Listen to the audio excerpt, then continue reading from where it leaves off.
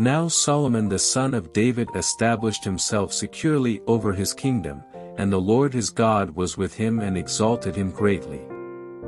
And Solomon spoke to all Israel, to the commanders of thousands, of hundreds, and to the judges and to every leader in all Israel, the heads of the fathers' households. Then Solomon and all the assembly with him went to the high place which was at Gibeon, because God's tent of meeting was there which Moses, the servant of the Lord had made in the wilderness. However, David had brought up the ark of God from Kiriath Jearim to the place he had prepared for it, for he had pitched a tent for it in Jerusalem. Now the bronze altar which Bezalel, the son of Uri, the son of Hur, had made was there before the tabernacle of the Lord, and Solomon and the assembly sought it out. And Solomon went up there before the Lord to the bronze altar which was at the tent of meeting, and offered a thousand burnt offerings on it. In that night God appeared to Solomon and said to him, Ask what I shall give you. And Solomon said to God, You have dealt with my father David with great faithfulness, and have made me king in his place. Now, Lord God, your promise to my father David is fulfilled, for you have made me king over a people as numerous as the dust of the earth. Now give me wisdom and knowledge, so that I may go out and come in before this people, for who can rule this great people of yours? Then God said to Solomon, Because this was in your heart, and you did not ask for riches, wealth, or honor, or the life of those who hate you, nor did you even ask for long life, but you asked for yourself wisdom and knowledge so that you may rule my people over whom I have made you king. Wisdom and knowledge have been granted to you. I will also give you riches, wealth, and honor, such as none of the kings who were before you has possessed, nor will those who will come after you. So Solomon went from the high place which was at Gibeon, from the tent of meeting, to Jerusalem, and he reigned over Israel. Solomon amassed chariots and horsemen. He had 1,400 chariots and 12,000 horsemen, and he stationed them in the chariot cities and with the king in Jerusalem. The king made silver and gold as plentiful in Jerusalem as stones, and he made cedars as plentiful as sycamores in the lowland. Solomon's horses were imported from Egypt and from Kue, the king's traders acquired them from Kue for a price. They imported chariots from Egypt for 600 shekels of silver apiece, horses for 150 apiece, and by the same means they exported them to all the kings of the Hittites and the kings of Aram. Now Solomon decided to build a house for the name of the Lord, and a royal palace for himself. So Solomon assigned 70,000 men to carry loads, 80,000 men to quarry stone in the mountains, and 3,600 to supervise them. Then Solomon sent word to Huram the king of Tyre, saying, As you dealt with my father David and sent him cedars to build him a house to live in, do it for me. Behold, I am about to build a house for the name of the Lord my God, dedicating it to him, to burn fragrant incense before him and to set out the showbread continually, and to offer burnt offerings morning and evening, on Sabbaths, on new moons, and on the appointed feasts of the Lord our God. This is to be done in Israel forever. The house which I am about to build will be great, for our God is greater than all the gods. But who is able to build a house for him, since the heavens and the highest heavens cannot contain him. And who am I, that I should build a house for him, except to burn incense before him? Now send me a skilled man to work in gold, silver, brass, iron, and in purple, crimson, and violet fabrics, one who knows how to make engravings, to work with the skilled workers whom I have in Judah and Jerusalem, whom my father David provided. Send me also cedar, juniper, and algum timber from Lebanon, for I know that your servants know how to cut timber of Lebanon, and indeed my servants will work with your servants. To prepare timber in abundance for me, for the house which I am about to build will be great and wonderful. Now behold, I will give your servants, the woodsmen who cut the timber, 20,000 kors of crushed wheat, 20,000 kors of barley, 20,000 baths of wine, and 20,000 baths of oil. Then Huram, king of Tyre, answered in a letter sent to Solomon, Because the Lord loves his people, he has made you king over them. Then Huram continued, Blessed be the Lord, the God of Israel, who made heaven and earth, who has given King David a wise son, endowed with discretion and understanding, who will build a house for the Lord and a royal palace for himself. Now then, I am sending Huram Abi, a skilled man, endowed with understanding. The son of a Danite woman and a Tyrian father, who knows how to work in gold, silver, bronze, iron, stone, and wood, and in purple, violet, linen, and crimson fabrics, and who knows how to make all kinds of engravings and to execute any design which is assigned to him, to work with your skilled workers and with those of my lord, your father David. Now then, let my lord send his servants wheat and barley, oil and wine, of which he has spoken.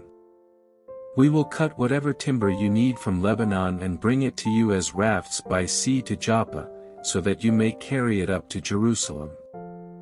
Solomon counted all the foreigners who were in the land of Israel, following the census which his father David had taken, and 153,600 were found. He appointed 70,000 of them to carry loads and 80,000 to quarry stones in the mountains, and 3,600 supervisors to make the people work. Then Solomon began to build the house of the Lord in Jerusalem on Mount Moriah, where the Lord had appeared to his father David, at the place that David had prepared on the threshing floor of Ornan the Jebusite. He began to build on the second day in the second month of the fourth year of his reign. Now these are the foundations which Solomon laid for building the house of God. The length in cubits, according to the old standard, was 60 cubits, and the width, 20 cubits. The porch which was in front of the house was as long as the width of the house, 20 cubits, and the height 20, and inside he overlaid it with pure gold. He overlaid the main room with juniper wood and overlaid it with fine gold, and he ornamented it with palm trees and chains. Further, he overlaid the house with precious stones, and the gold was gold from Parvaim. He also overlaid the house with gold, the beams, the thresholds, and its walls and doors, and he carved cherubim on the walls. Then he made the room of the most holy place, its length across the width of the house was twenty cubits, and its width was twenty cubits, and he overlaid it with fine gold, amounting to six hundred talents. The weight of the nails was fifty shekels of gold. He also overlaid the upper rooms with gold. Then he made two sculptured cherubim in the room of the most holy place and overlaid them with gold. The wingspan of the cherubim was twenty cubits, the wing of one, of five cubits, touched the wall of the house, and its other wing, of five cubits, touched the wing of the other cherub. The wing of the other cherub, of five cubits, touched the wall of the house, and its other wing, of five cubits, was attached to the wing of the first cherub. The wings of these cherubim extended twenty cubits, and they stood on their feet facing the main room. He made the veil of violet, purple, crimson, and fine linen, and he worked cherubim into it. He also made two pillars for the front of the house, thirty-five cubits high, and the capital on the top of each was five cubits. He made chains in the inner sanctuary and placed them on the tops of the pillars, and he made a hundred pomegranates and placed them on the chains. He erected the pillars in front of the temple, one on the right and the other on the left, and named the one on the right Jachin and the one on the left Boaz. Then he made a bronze altar, twenty cubits in length, twenty cubits in width, and ten cubits in height.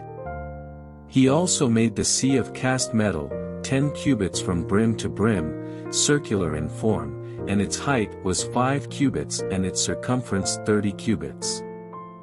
Now figures like oxen were under it and all around it, ten cubits, entirely encircling the sea. The oxen were in two rows, cast in one piece.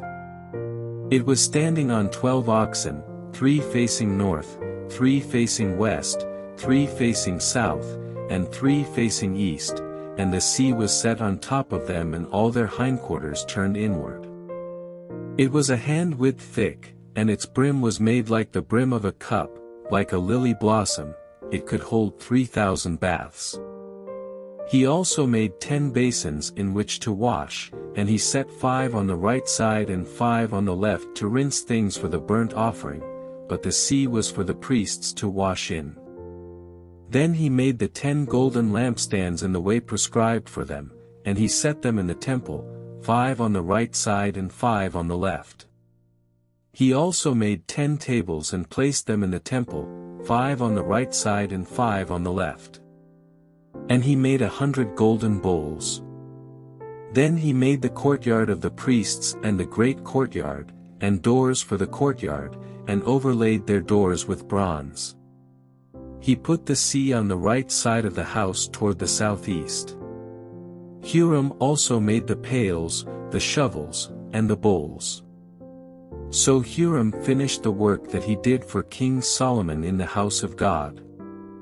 The two pillars, the bowls and the two capitals on top of the pillars, and the two latticeworks to cover the two bowls of the capitals which were on top of the pillars.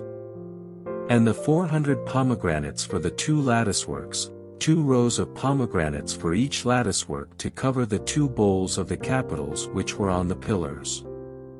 He also made the stands and he made the basins on the stands. And the one sea with the twelve oxen under it. The pails, the shovels, the forks, and all its utensils, Huram-Abi I made of polished bronze for King Solomon, for the house of the Lord. On the plain of the Jordan the king cast them in the clay ground between Succoth and Zeredah. So Solomon made all these utensils in great quantities, for the weight of the bronze could not be determined. Solomon also made all the things that were in the house of God, the golden altar, the tables with the bread of the presence on them. The lampstands with their lamps of pure gold, to burn in front of the inner sanctuary in the way prescribed. The flowers, the lamps, and the tongs of gold, that is, of purest gold.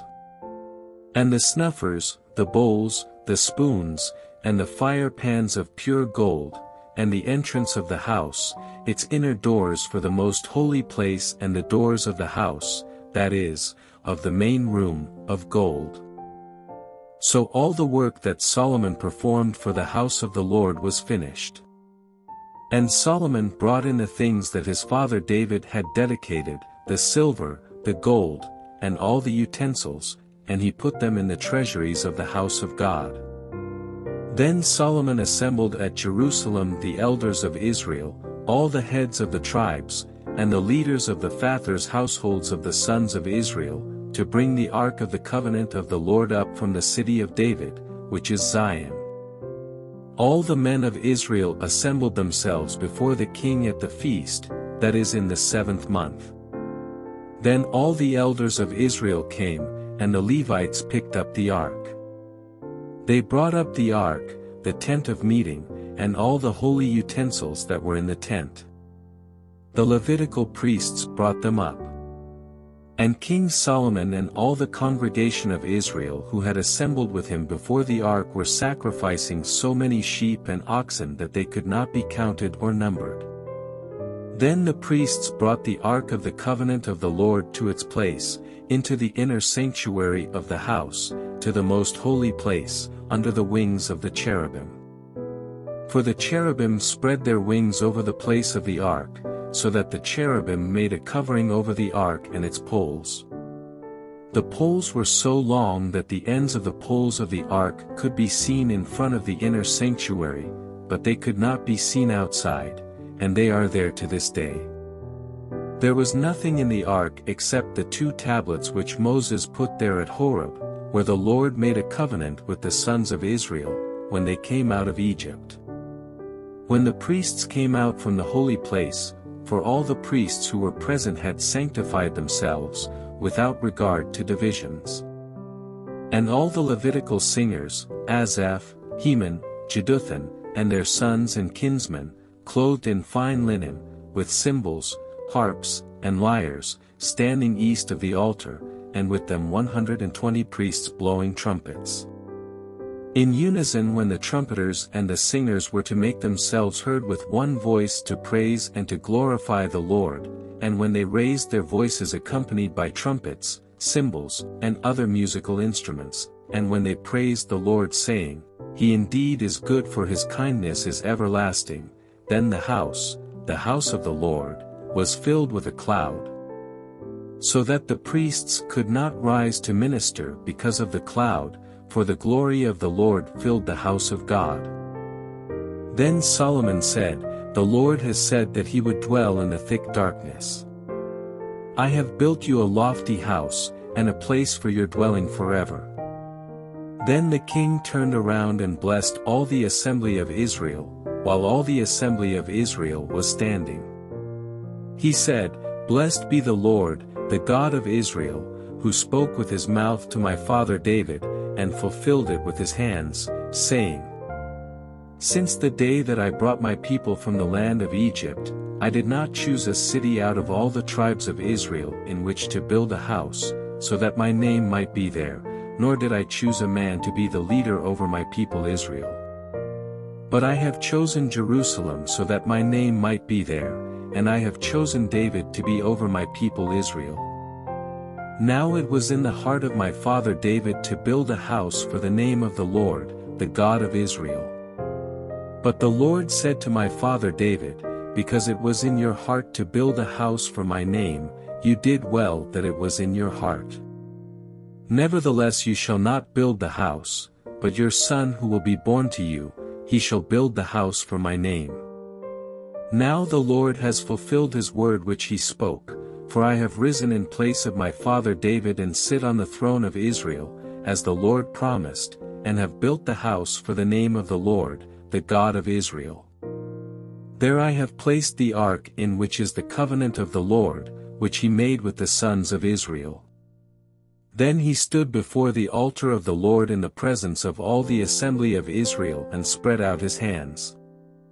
For Solomon had made a bronze platform, five cubits long, five cubits wide, and three cubits high, and had set it in the midst of the courtyard, and he stood on it, knelt on his knees in the presence of all the assembly of Israel and spread out his hands toward heaven.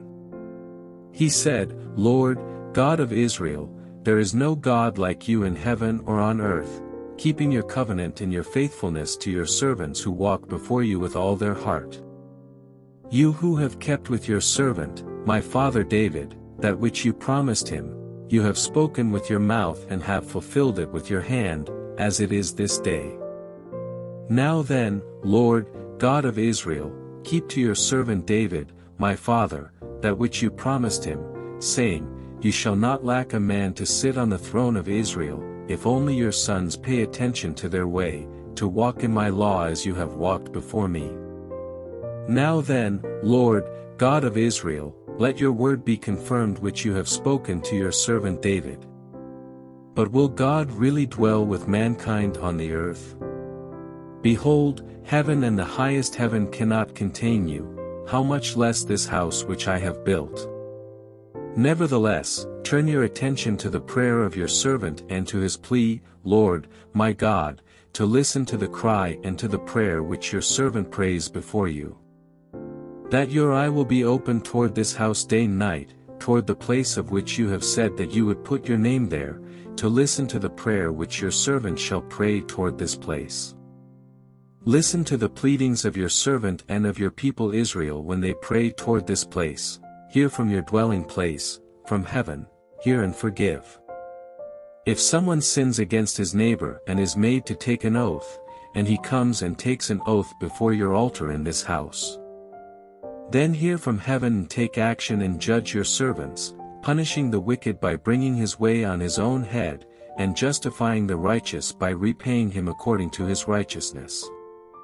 If your people Israel are defeated before an enemy because they have sinned against you, and they return to you and praise your name, and pray and plead before you in this house. Then hear from heaven and forgive the sin of your people Israel, and bring them back to the land which you have given to them and to their fathers. When the heavens are shut up and there is no rain because they have sinned against you, and they pray toward this place and praise your name, and turn from their sin when you afflict them. Then hear in heaven and forgive the sin of your servants and your people Israel, indeed, teach them the good way in which they are to walk. And provide rain on your land, which you have given to your people as an inheritance. If there is a famine in the land, if there is a plague, if there is blight or mildew, if there is locust or grasshopper, if their enemies besiege them in the land of their cities, whatever plague or whatever sickness there is. Whatever prayer or plea is made by anyone or by all your people Israel, each knowing his own affliction and his own pain, and spreading his hands toward this house. Then hear from heaven, your dwelling place, and forgive, and render to each according to all his ways, whose heart you know for you alone know the hearts of the sons of mankind. So that they may fear you, to walk in your ways as long as they live in the land which you have given to our fathers. Also concerning the foreigner who is not from your people Israel, when he comes from a far country on account of your great name and your mighty hand and your outstretched arm, when they come and pray toward this house. Then hear from heaven, from your dwelling place, and do according to all for which the foreigner calls to you, so that all the peoples of the earth may know your name, and fear you as do your people Israel, and that they may know that this house which I have built is called by your name. When your people go out to battle against their enemies, by whatever way you send them, and they pray to you toward this city which you have chosen and the house which I have built for your name. Then hear from heaven their prayer and their pleading, and maintain their cause. When they sin against you, for there is no one who does not sin, and you are angry with them and turn them over to an enemy, so that they take them away captive to a land far off or near. If they take it to heart in the land where they are taken captive, and repent and plead to you in the land of their captivity, saying, We have sinned, we have done wrong have acted wickedly.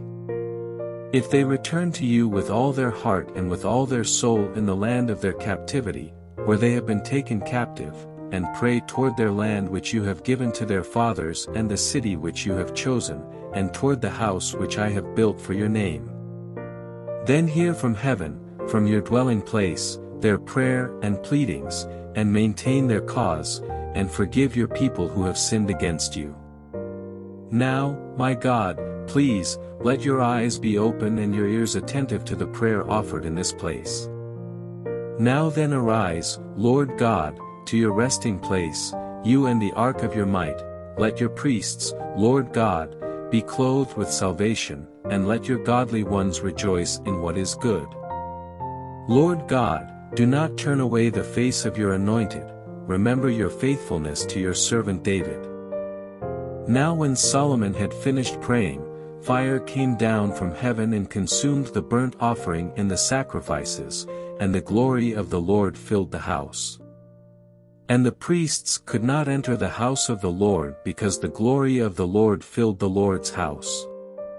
All the sons of Israel, seeing the fire come down and the glory of the Lord upon the house, bowed down on the pavement with their faces to the ground, and they worshipped and gave praise to the Lord, saying, Certainly he is good, certainly his faithfulness is everlasting. Then the king and all the people offered sacrifice before the Lord. King Solomon offered a sacrifice of 22,000 oxen and 120,000 sheep. So the king and all the people dedicated the house of God. The priests stood at their posts, and the Levites also, with the musical instruments for the Lord, which King David had made for giving praise to the Lord, for his faithfulness is everlasting, whenever David gave praise through their ministry, the priests on the other side blew trumpets and all Israel was standing.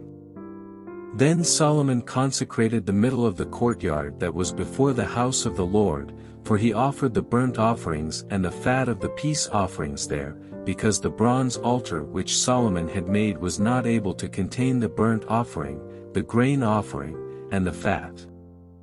So Solomon held the feast at that time for seven days, and all Israel with him, a very great assembly that came from the entrance of Hamath to the brook of Egypt. And on the eighth day they held a solemn assembly, because they held the dedication of the altar for seven days, and the feast for seven days.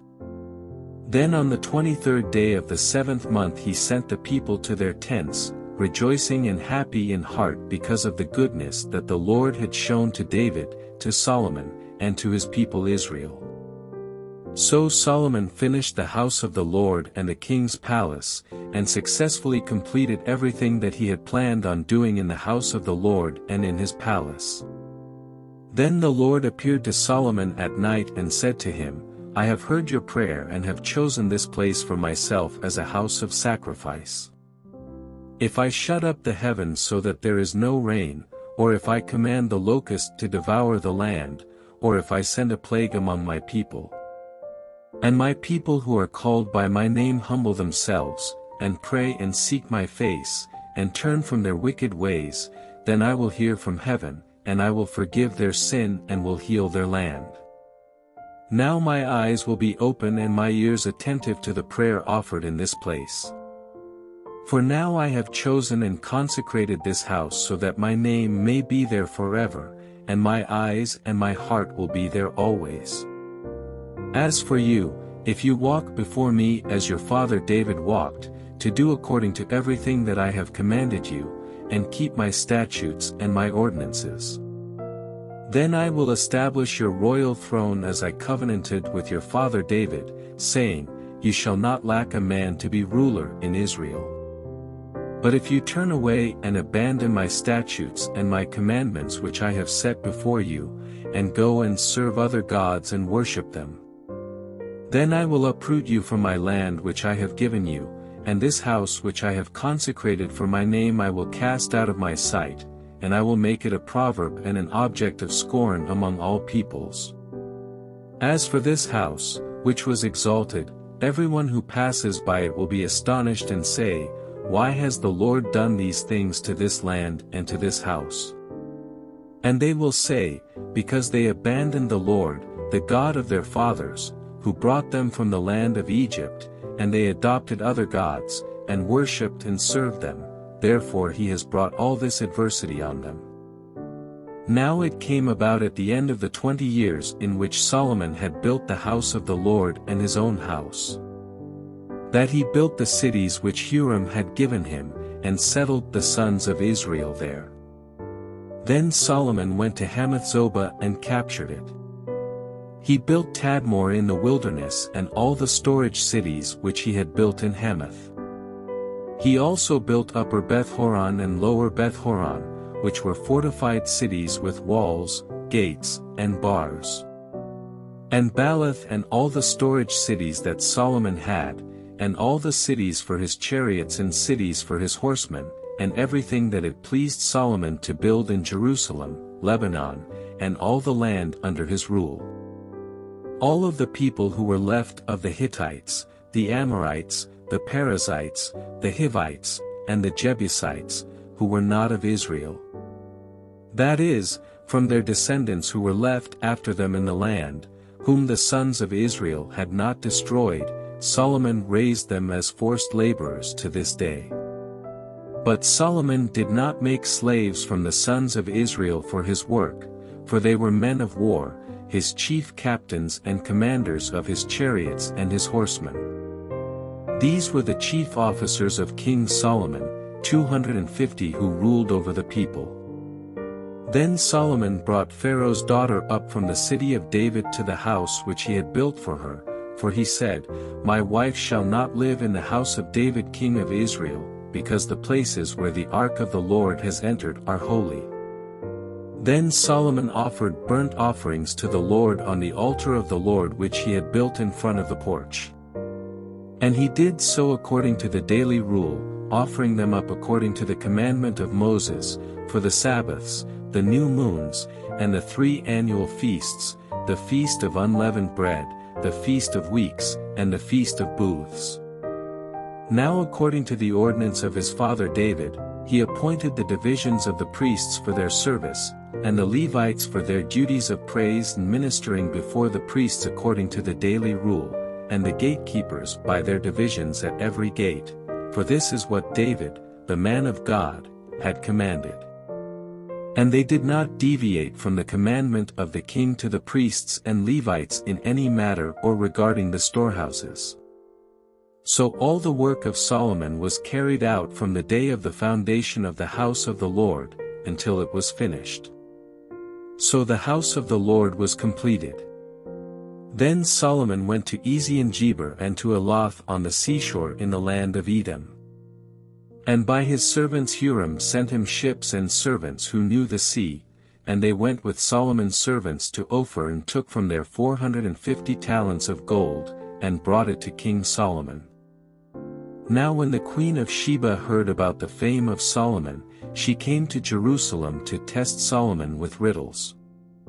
She had a very large entourage, with camels carrying balsam oil and a large amount of gold and precious stones, and when she came to Solomon, she spoke with him about everything that was on her heart.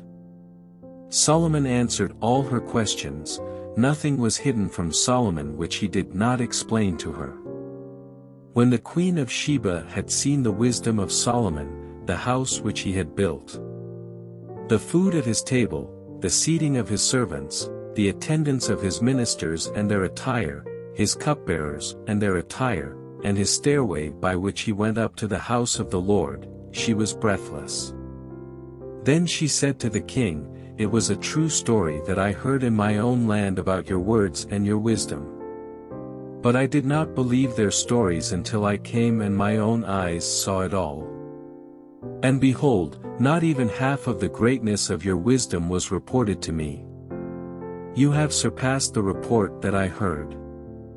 How blessed are your men, how blessed are these servants of yours, who stand before you continually and hear your wisdom. Blessed be the Lord your God who delighted in you, setting you on his throne as king for the Lord your God, because your God loved Israel, establishing them forever, he made you king over them, to carry out justice and righteousness. Then she gave the king 120 talents of gold and a very great amount of balsam oil and precious stones, there had never been balsam oil like that which the queen of Sheba gave King Solomon.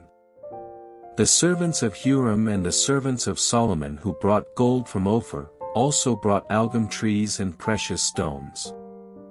From the algum trees the king made steps to the house of the Lord and for the king's palace, and lyres and harps for the singers, and nothing like them was seen before in the land of Judah.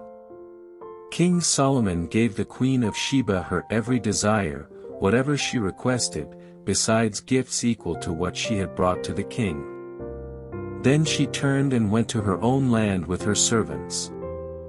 Now the weight of gold that came to Solomon in one year was 666 talents of gold.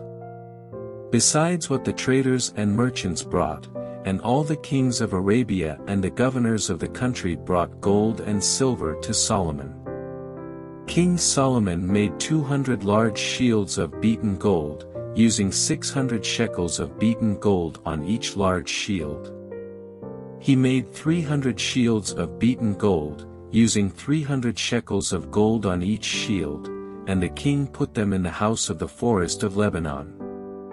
Moreover, the king made a great throne of ivory, and overlaid it with pure gold.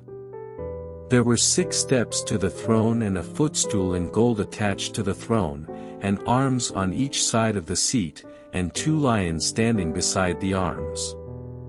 Twelve lions were standing there on the six steps on the one side and on the other, nothing like it was made for any other kingdom. All King Solomon's drinking vessels were of gold, and all the vessels of the house of the forest of Lebanon were of pure gold, silver was not considered valuable in the days of Solomon. For the king had ships which went to Tarshish with the servants of Huram, once every three years the ships of Tarshish came bringing gold and silver, ivory, apes, and peacocks. So King Solomon became greater than all the kings of the earth in wealth and wisdom. And all the kings of the earth were seeking the presence of Solomon, to hear his wisdom which God had put in his heart. They were bringing, each of them his gift, articles of silver and gold, garments, weapons, balsam oil, horses, and mules, so much year by year. Now Solomon had four thousand stalls for horses and chariots and twelve thousand horsemen, and he stationed them in the chariot cities and with the king in Jerusalem. He was ruler over all the kings from the Euphrates River to the land of the Philistines, and as far as the border of Egypt. And the king made silver as common as stones in Jerusalem, and he made cedars as plentiful as sycamore trees that are in the lowland. And they were bringing horses for Solomon from Egypt and from all countries. Now the rest of the acts of Solomon, from the first to the last, are they not written in the records of Nathan the prophet, in the prophecy of Ahijah the Shilonite, and in the visions of Iddo the seer concerning Jeroboam the son of Nebat? Solomon reigned in Jerusalem over all Israel for forty years. And Solomon lay down with his fathers and was buried in the city of his father David, and his son Rehoboam reigned in his place. Then Rehoboam went to Shechem, because all Israel had come to Shechem to make him king. When Jeroboam the son of Nebat heard about it, he was in Egypt where he had fled from the presence of King Solomon, Jeroboam returned from Egypt.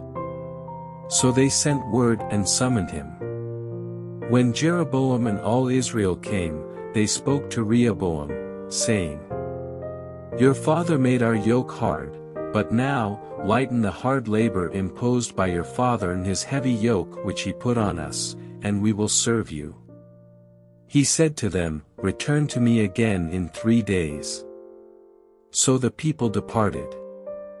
And then King Rehoboam consulted with the elders who had served his father Solomon while he was still alive, saying, How do you advise me to answer this people?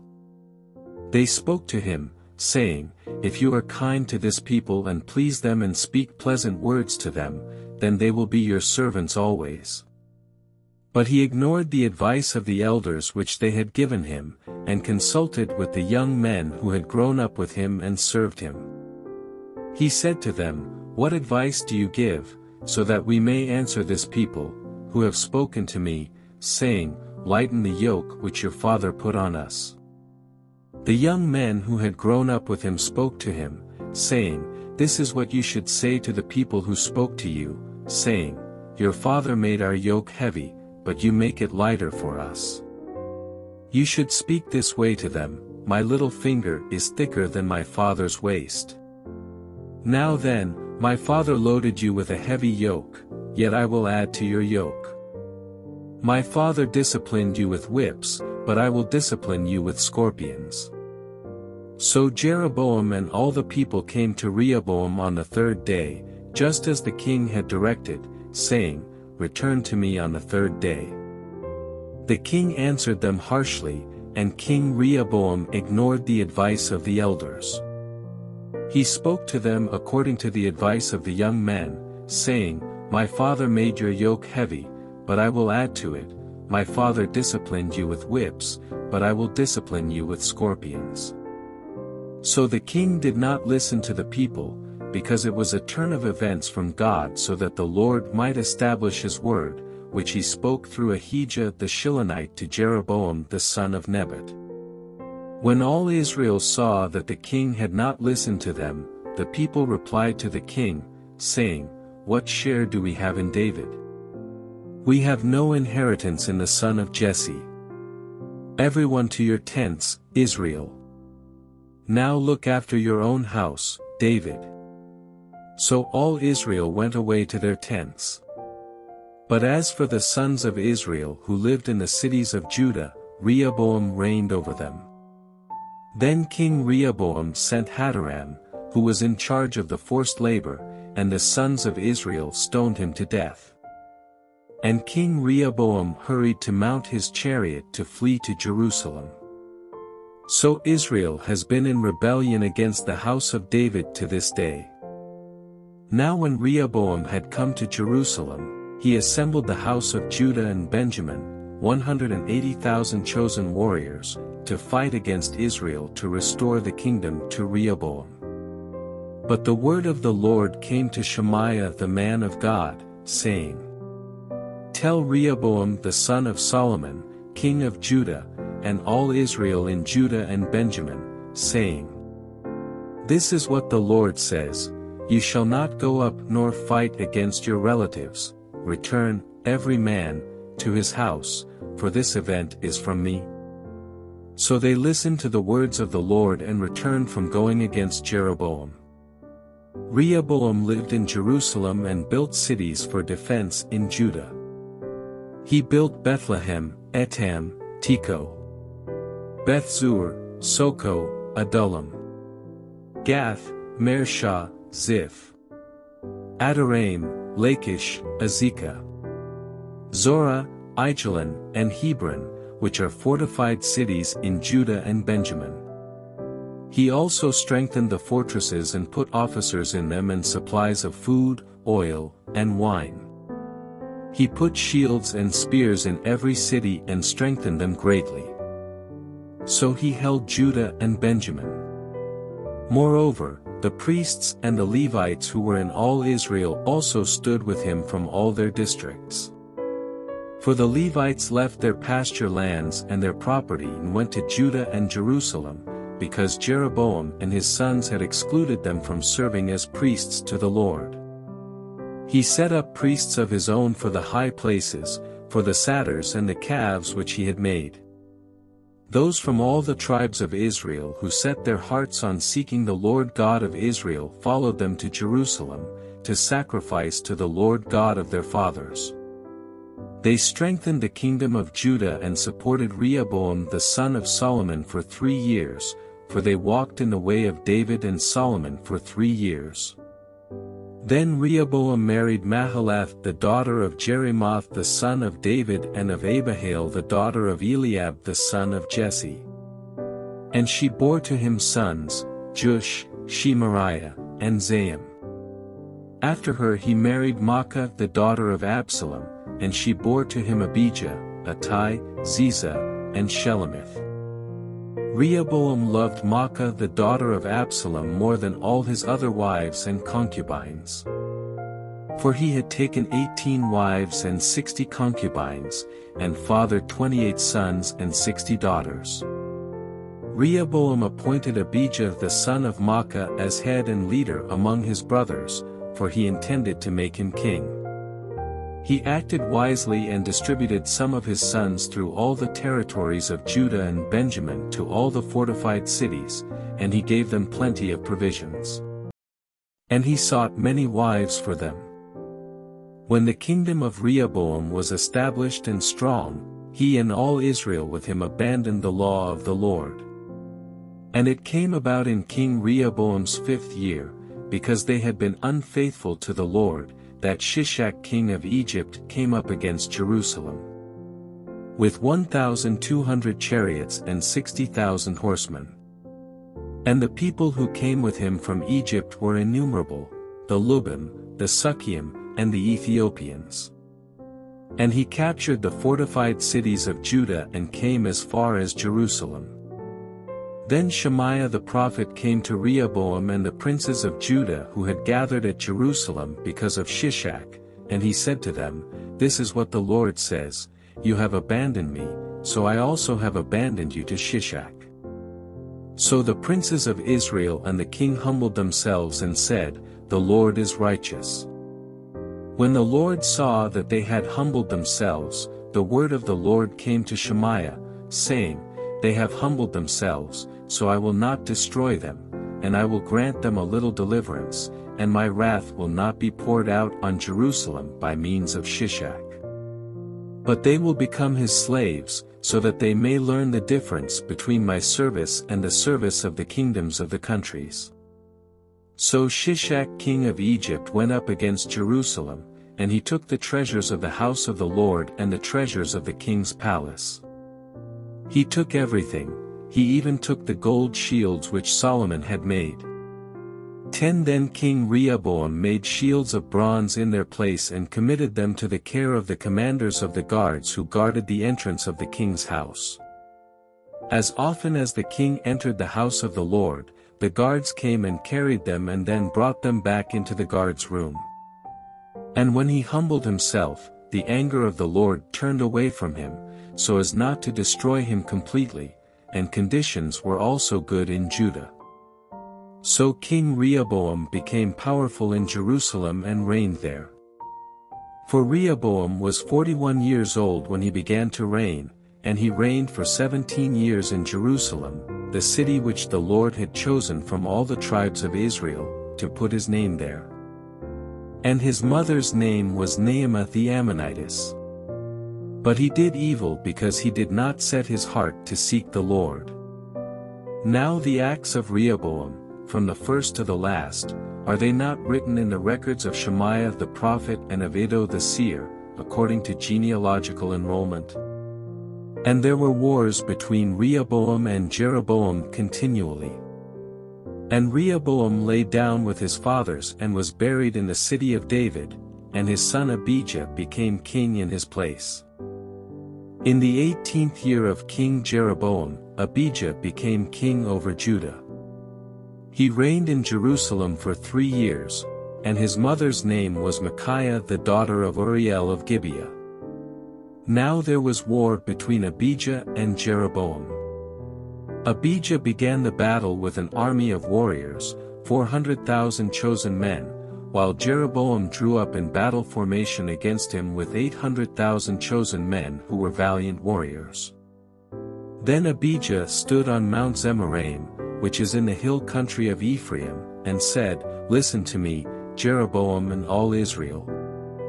Do you not know that the Lord God of Israel gave the rule over Israel forever to David and his sons by a covenant of salt? Yet Jeroboam the son of Nebat, the servant of Solomon the son of David, rose up and rebelled against his master. And worthless men gathered to him, wicked men, who proved too strong for Rehoboam, the son of Solomon, when he was young and timid and could not hold his own against them. So now you intend to assert yourselves against the kingdom of the Lord through the sons of David, being a great multitude and having with you the golden calves which Jeroboam made for you as gods. Have you not driven out the priests of the Lord, the sons of Aaron and the Levites, and made for yourselves priests like the peoples of other lands? Whoever comes to consecrate himself with a bull and seven rams, even he may become a priest of things that are not God's.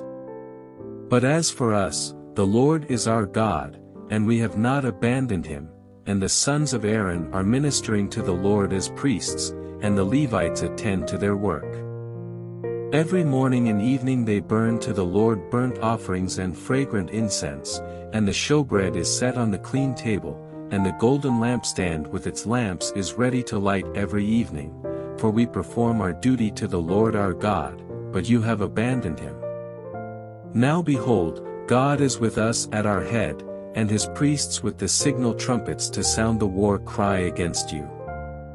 Sons of Israel, do not fight against the Lord God of your fathers, for you will not succeed. But Jeroboam had set an ambush to come from behind, so that Israel was in front of Judah and the ambush was behind them. When Judah turned around, behold, they were attacked both from front and rear, so they cried out to the Lord, and the priests blew the trumpets.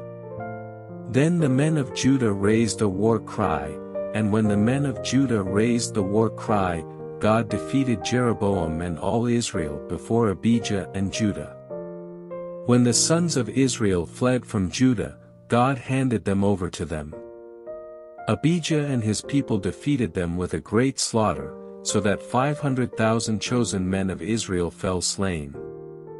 The sons of Israel were subdued at that time, and the sons of Judah conquered because they trusted in the Lord, the God of their fathers. Abijah pursued Jeroboam and captured from him several cities, Bethel with its villages, Jeshanah with its villages, and Ephron with its villages. Jeroboam did not again recover strength in the days of Abijah, and the Lord struck him and he died. But Abijah became powerful, and he took fourteen wives for himself, and fathered twenty-two sons and sixteen daughters. Now the rest of the acts of Abijah, and his ways and his words are written in the treatise of Iddo the prophet. So Abijah lay down with his fathers, and they buried him in the city of David, and his son Asa became king in his place. The land was undisturbed for ten years during his days. And Asa did what was good and right in the sight of the Lord his God. For he removed the foreign altars and high places, tore down the memorial stones, cut down the Asherim. And commanded Judah to seek the Lord God of their fathers and to comply with the law and the commandment. He also removed the high places and the incense altars from all the cities of Judah. And the kingdom was undisturbed under him. He built fortified cities in Judah, since the land was undisturbed, and there was no one at war with him during those years, because the Lord had given him rest. For he said to Judah, Let's build these cities and surround them with walls and towers, gates and bars. The land is still ours because we have sought the Lord our God, we have sought him, and he has given us rest on every side. So they built and prospered. Now Asa had an army of 300,000 from Judah, carrying large shields and spears, and 280,000 from Benjamin, carrying shields and wielding bows, all of them were valiant warriors. Now Zerah the Ethiopian went out against them with an army of a million men and three hundred chariots, and he came to Mareshah. So Asa went out to meet him, and they drew up in battle formation in the valley of Zephathah at Mareshah. Then Asa called to the Lord his God and said, Lord, there is no one besides you to help in the battle between the powerful and those who have no strength. Help us, Lord our God, for we trust in you, and in your name have come against this multitude. Lord, you are our God, do not let man prevail against you. So the Lord routed the Ethiopians before Asa and before Judah, and the Ethiopians fled.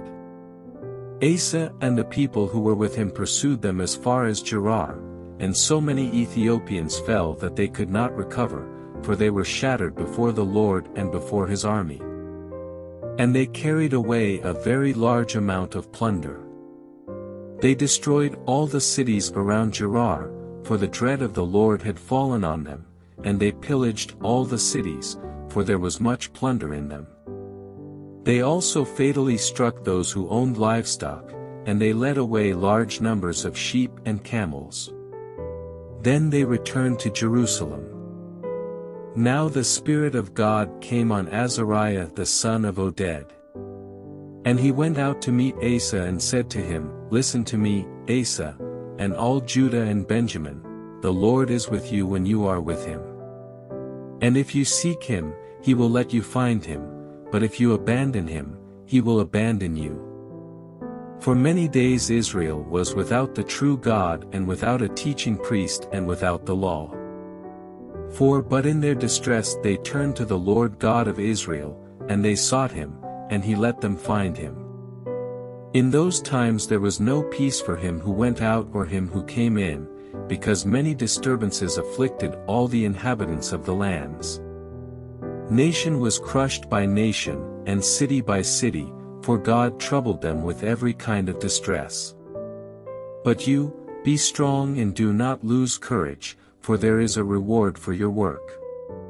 Now when Asa heard these words and the prophecy which Azariah the son of Oded the prophet spoke, he took courage and removed the abominable idols from all the land of Judah and Benjamin, and from the cities which he had captured in the hill country of Ephraim.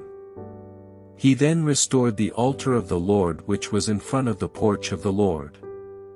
And he gathered all Judah and Benjamin, and those from Ephraim, Manasseh, and Simeon who resided with them, for many defected to him from Israel when they saw that the Lord his God was with him.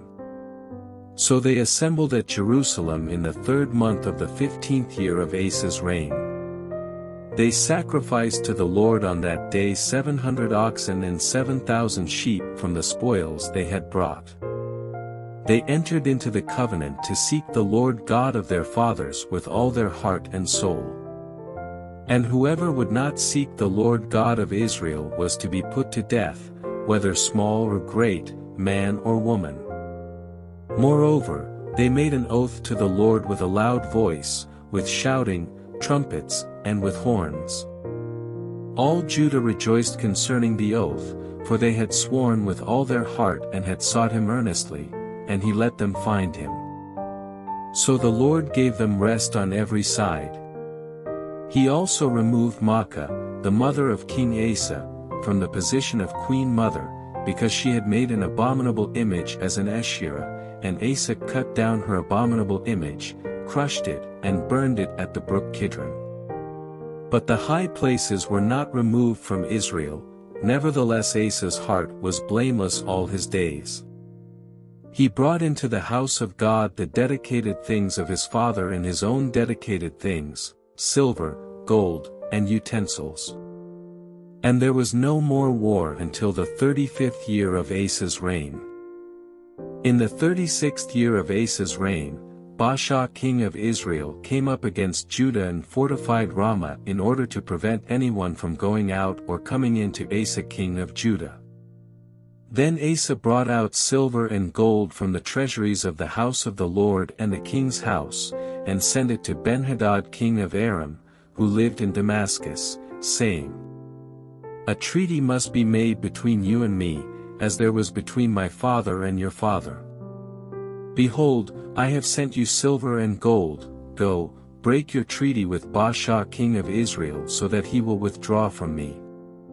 And Benhadad listened to King Asa, and he sent the commanders of his armies against the cities of Israel, and they conquered Ijon, Dan, Abelmaim, and all the storage cities of Naphtali. When Baasha heard about it, he stopped fortifying Ramah and put an end to his work.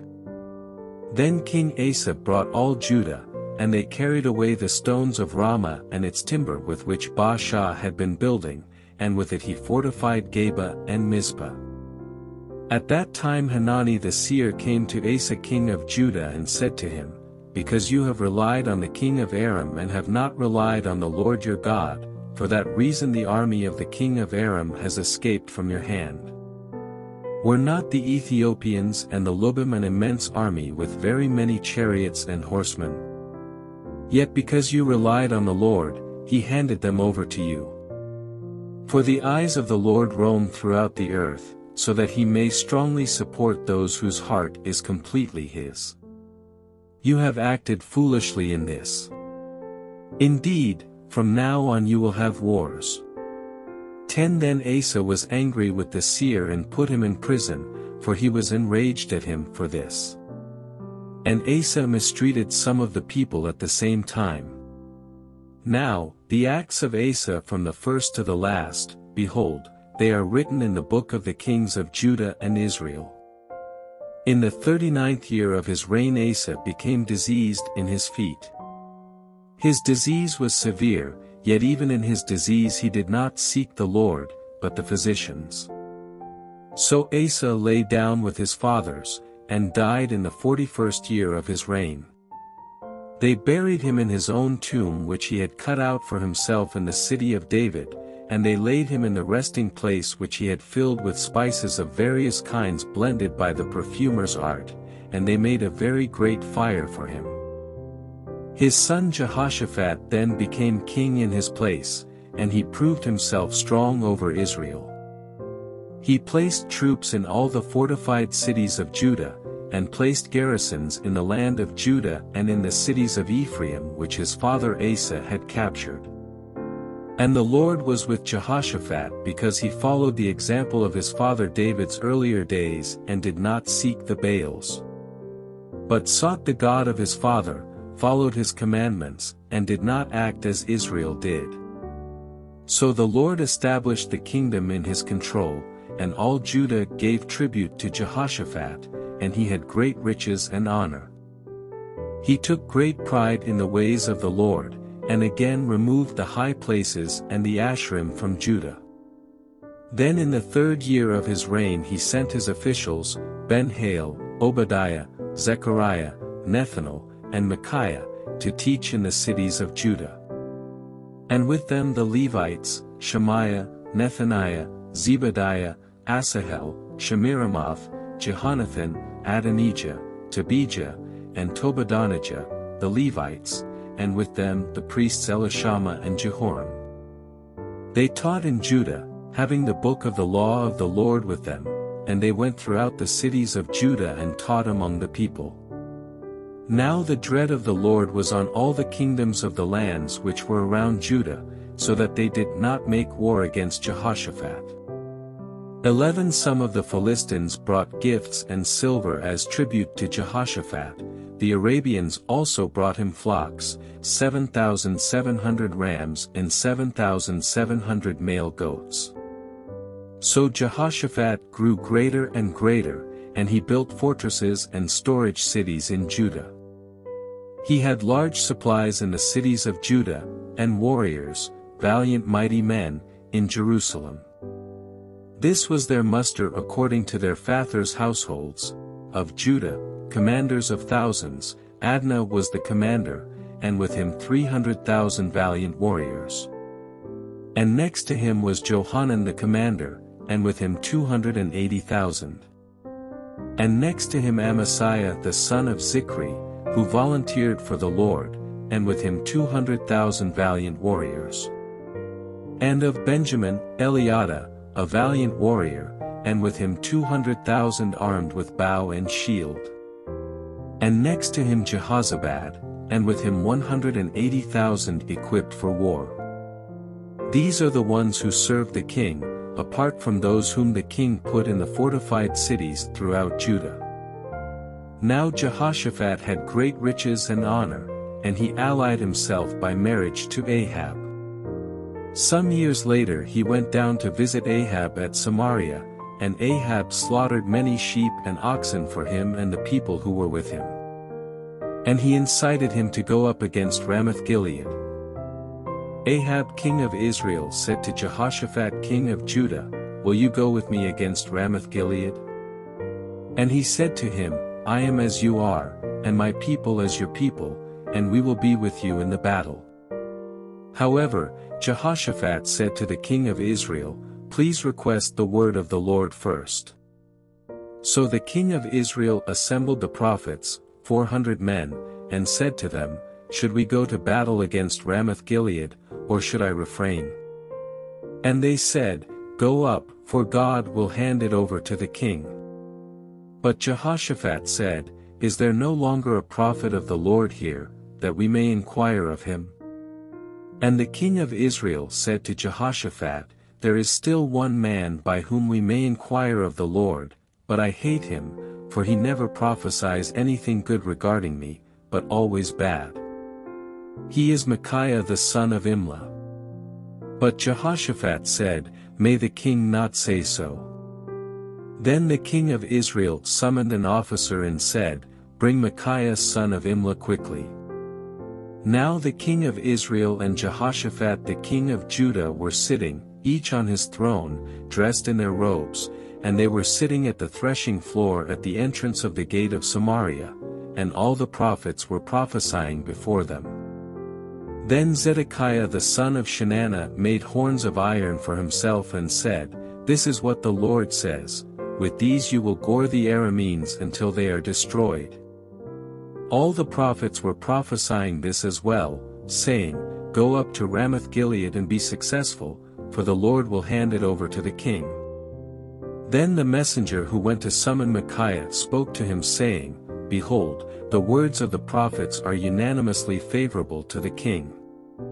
So please let your word be like one of them, and speak favorably.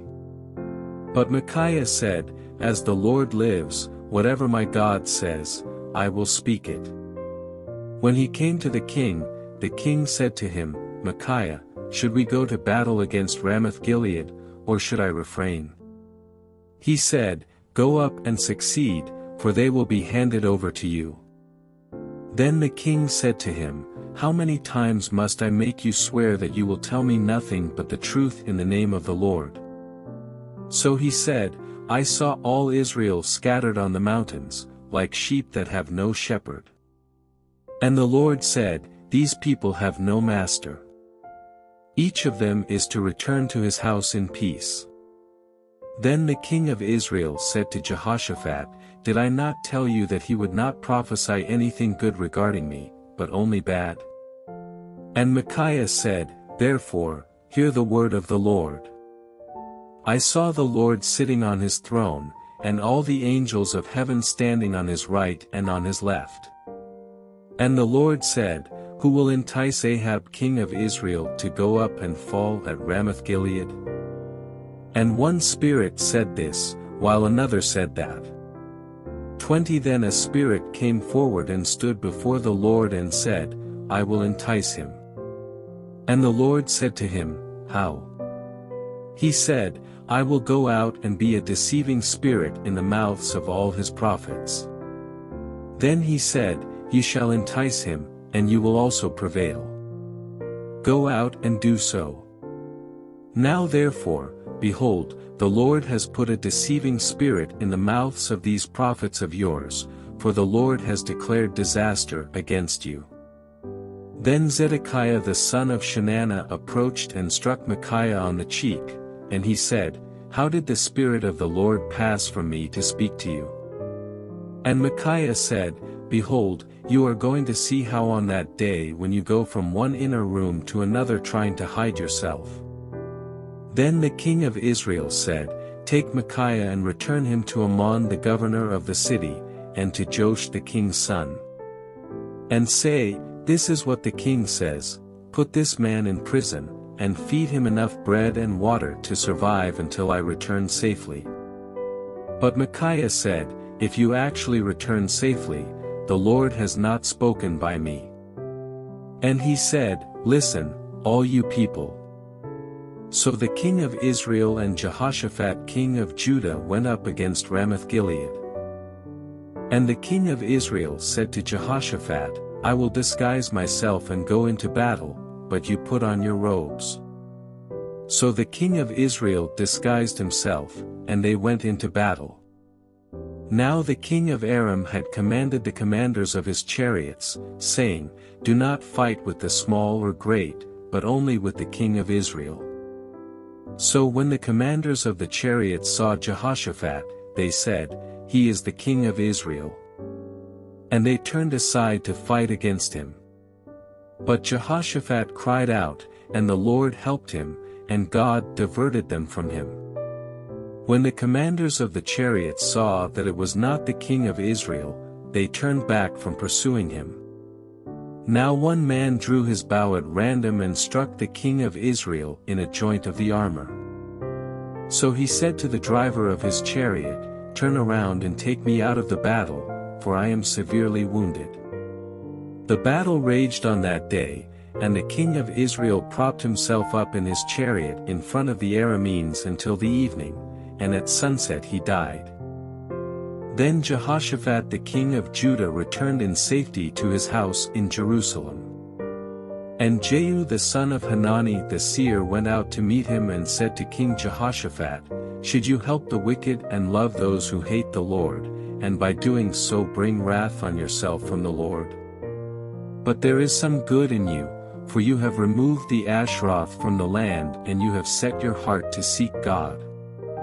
So Jehoshaphat lived in Jerusalem and went out again among the people from Beersheba to the hill country of Ephraim, and brought them back to the Lord, the God of their fathers. He appointed judges in the land in all the fortified cities of Judah, city by city. 6 He said to the judges, Consider what you are doing, for you do not judge for mankind but for the Lord who is with you when you render judgment. Now then, let the fear of the Lord be upon you, be careful about what you do, for the Lord our God will have no part in injustice or partiality, or in the taking of a bribe. In Jerusalem Jehoshaphat also appointed some of the Levites and priests, and some of the heads of the fathers' households of Israel, for the judgment of the Lord, and to judge disputes among the inhabitants of Jerusalem. 9 Then he commanded them, saying, This is what you shall do in the fear of the Lord, faithfully and wholeheartedly.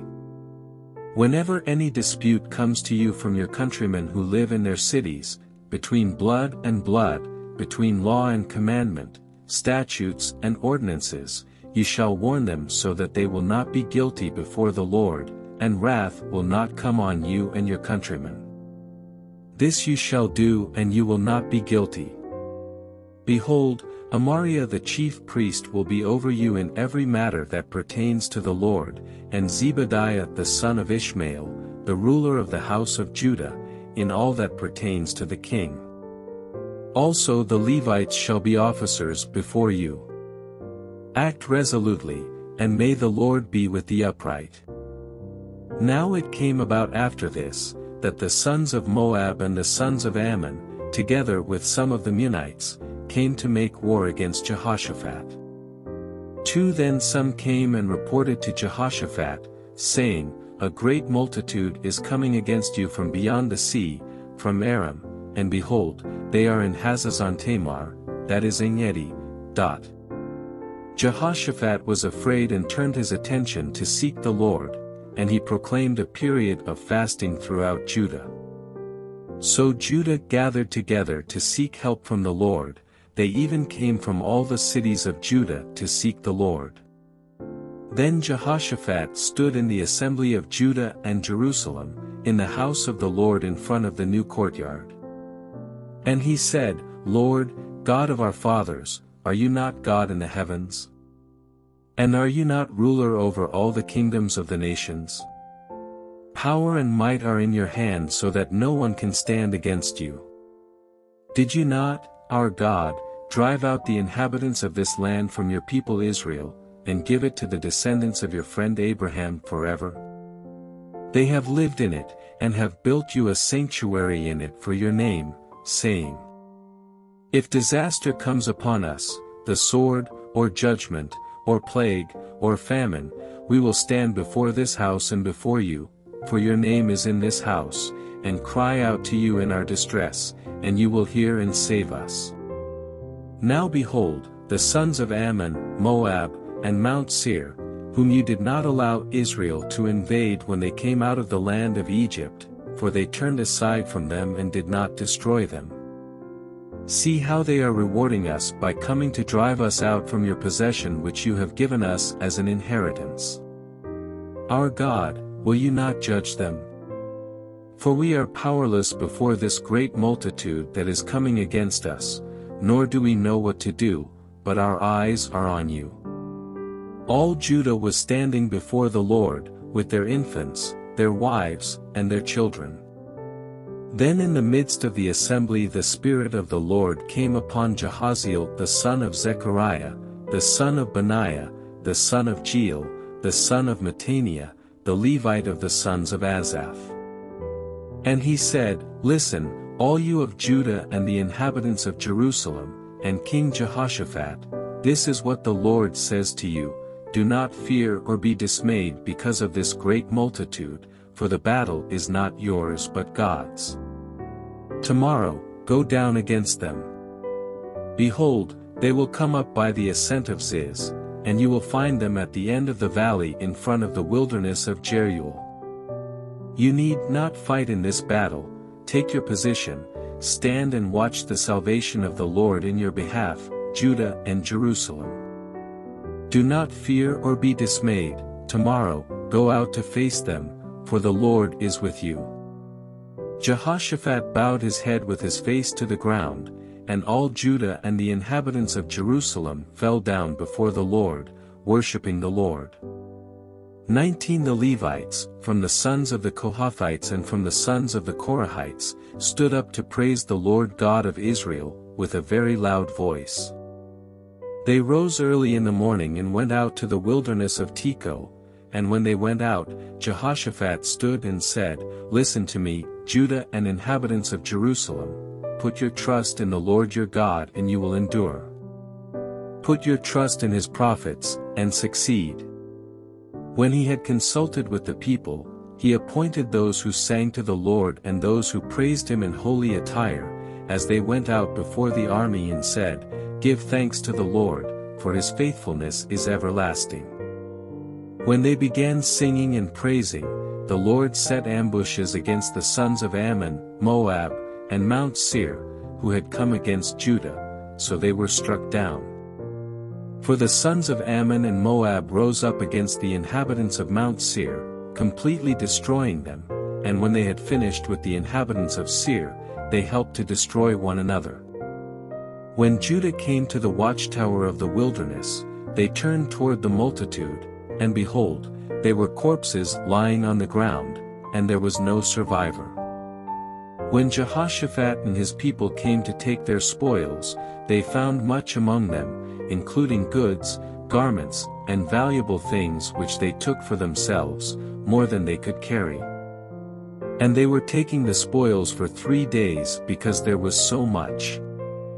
Then on the fourth day they assembled in the valley of Beracah, for they blessed the Lord there. Therefore they have named that place the valley of Beracah, until today. Every man of Judah and Jerusalem returned, with Jehoshaphat at their head, returning to Jerusalem with joy, for the Lord had helped them to rejoice over their enemies. They came to Jerusalem with harps, lyres, and trumpets, to the house of the Lord. And the dread of God was on all the kingdoms of the lands when they heard that the Lord had fought against the enemies of Israel. So the kingdom of Jehoshaphat was at peace, for his God gave him rest on all sides. Now Jehoshaphat reigned over Judah. He was 35 years old when he became king, and he reigned in Jerusalem for 25 years. And his mother's name was Azubah the daughter of Shilhi. He walked in the way of his father Asa and did not deviate from it, doing right in the sight of the Lord. The high places, however, were not removed, the people had not yet directed their hearts to the God of their fathers.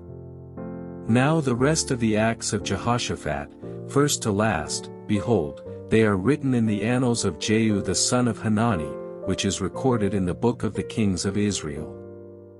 After this Jehoshaphat king of Judah allied himself with Ahaziah king of Israel. He acted wickedly in so doing. So he allied himself with him to make ships to go to Tarshish, and they made the ships in Ezion-Geber. Then Eliezer the son of Dodavahu of Mareshah prophesied against Jehoshaphat, saying, Because you have allied yourself with Ahaziah, the Lord has destroyed your works. So the ships were wrecked and could not go to Tarshish. Then Jehoshaphat lay down with his fathers and was buried with his fathers in the city of David, and his son Jehoram became king in his place. He had brothers, the sons of Jehoshaphat, Azariah, Jehiel, Zechariah, Azaryahu, Michael, and Shephatiah. All these were the sons of Jehoshaphat king of Israel. Their father gave them many gifts of silver, gold, and precious things, with fortified cities in Judah, but he gave the kingdom to Jehoram because he was the firstborn. Now when Jehoram had taken over the kingdom of his father and gathered courage, he killed all his brothers with the sword, and some of the leaders of Israel as well.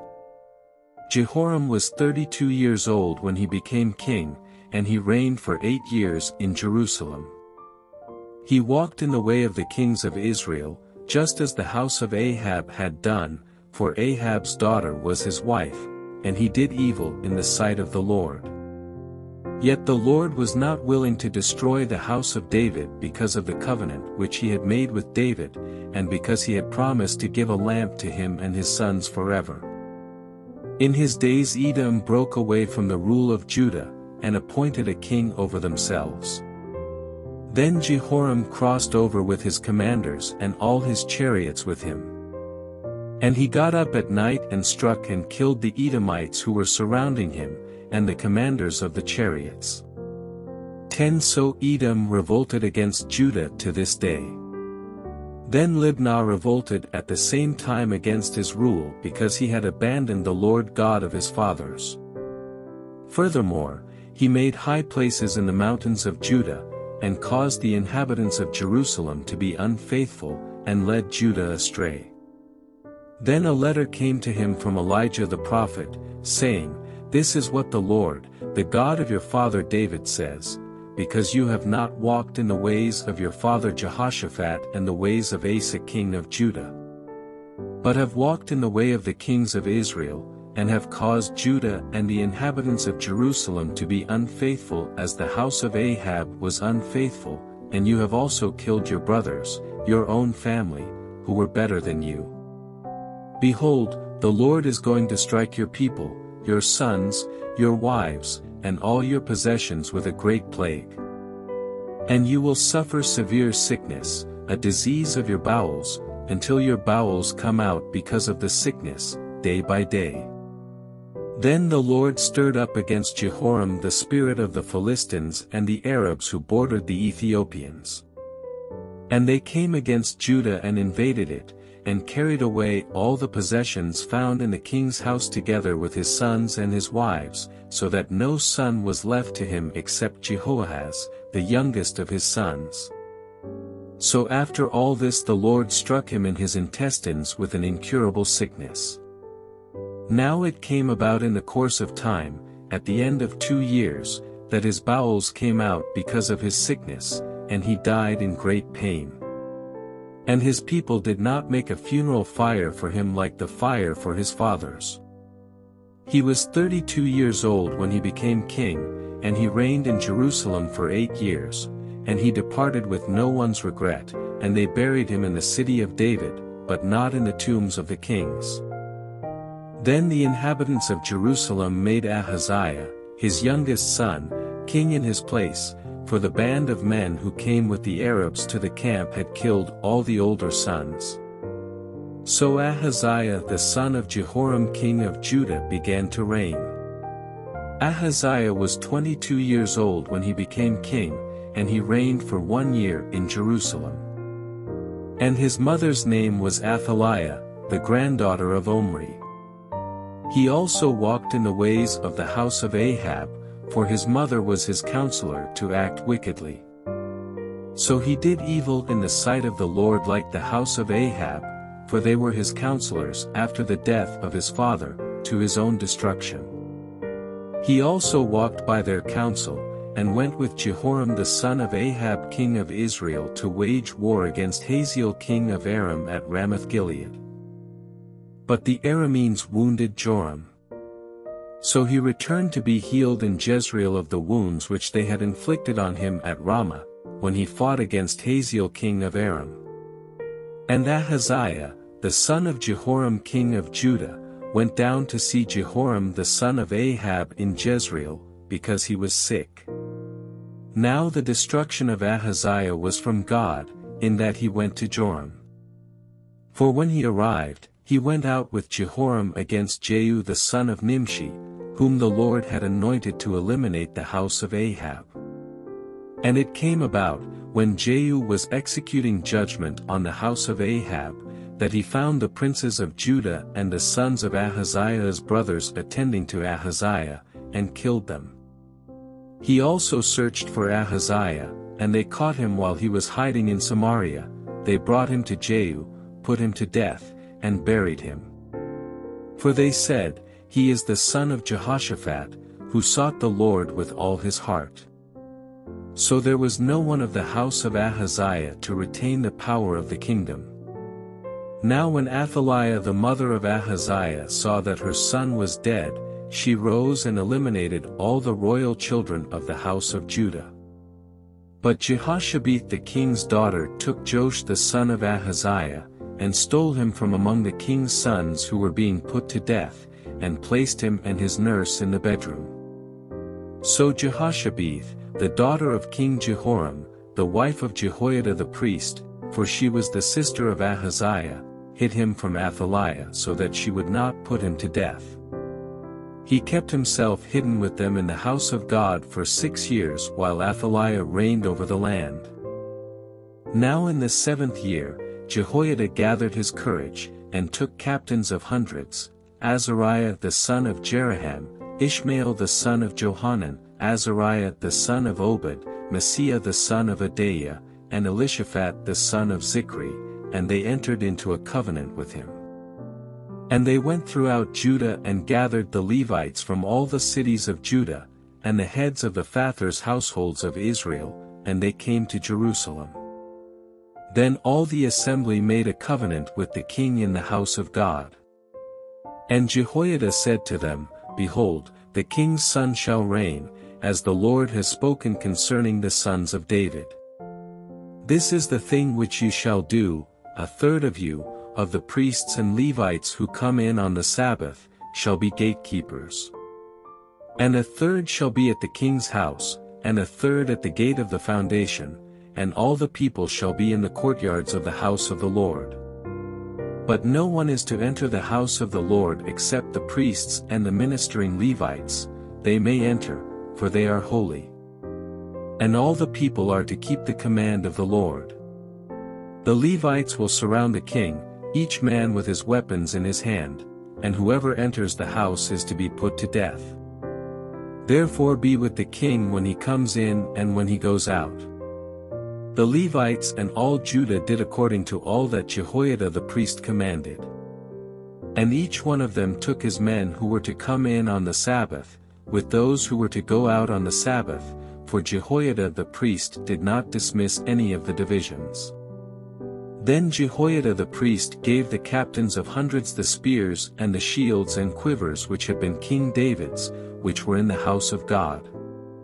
He stationed all the people, each man with his weapon in his hand, from the right side of the house to the left side of the house, by the altar and by the house, around the king.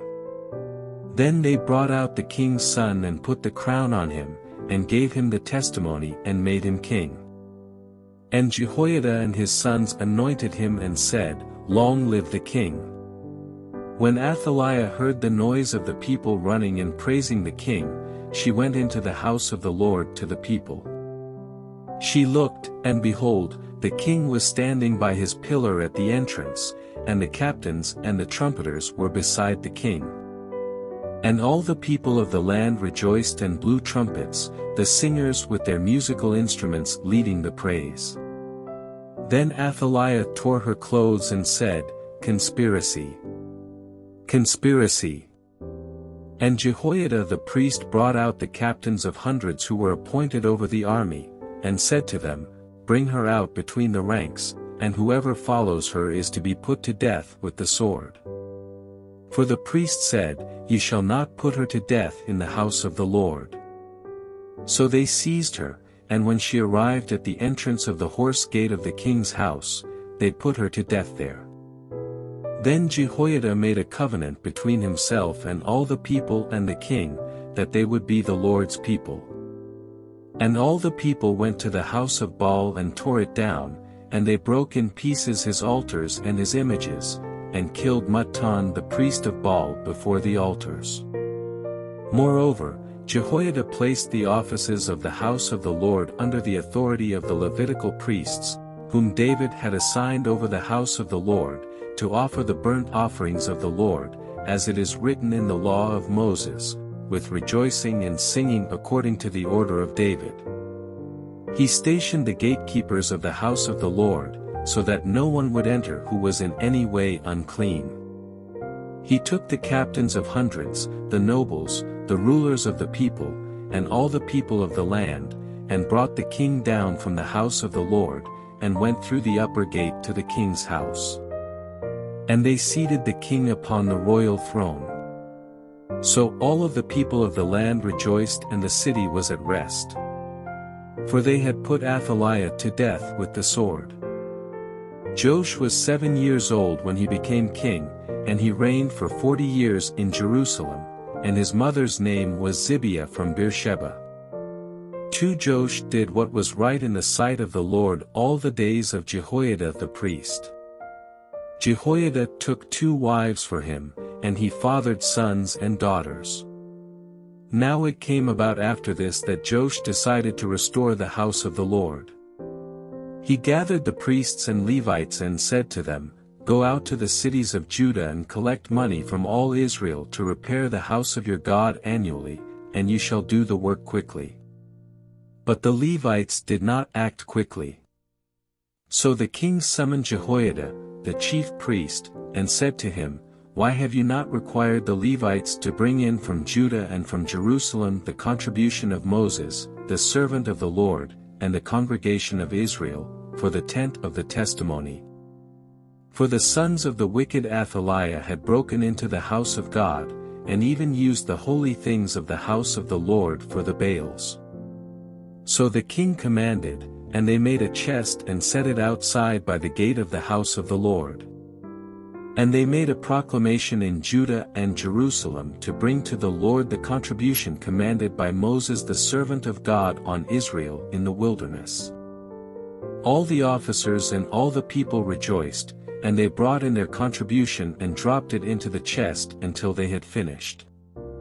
It happened that whenever the chest was brought to the king's officer by the Levites, and they saw that the money was substantial, the king's scribe and the chief priest's officer would come and empty the chest, and pick it up and return it to its place. They did this daily and collected a large amount of money. The king and Jehoiada gave it to those who did the work of the service of the house of the Lord, and they hired masons and carpenters to restore the house of the Lord, and also workers in iron and bronze to repair the house of the Lord. So the workmen labored, and the repair work progressed in their hands, and they restored the house of God according to its specifications and strengthened it. When they had finished, they brought the rest of the money before the king and Jehoiada, and it was made into utensils for the house of the Lord, utensils for the service and the burnt offerings, and pans and utensils of gold and silver. And they offered burnt offerings in the house of the Lord continually, all the days of Jehoiada. Now Jehoiada reached a good old age and he died, he was 130 years old at his death. And they buried him in the city of David with the kings, because he had done well in Israel and for God and his house.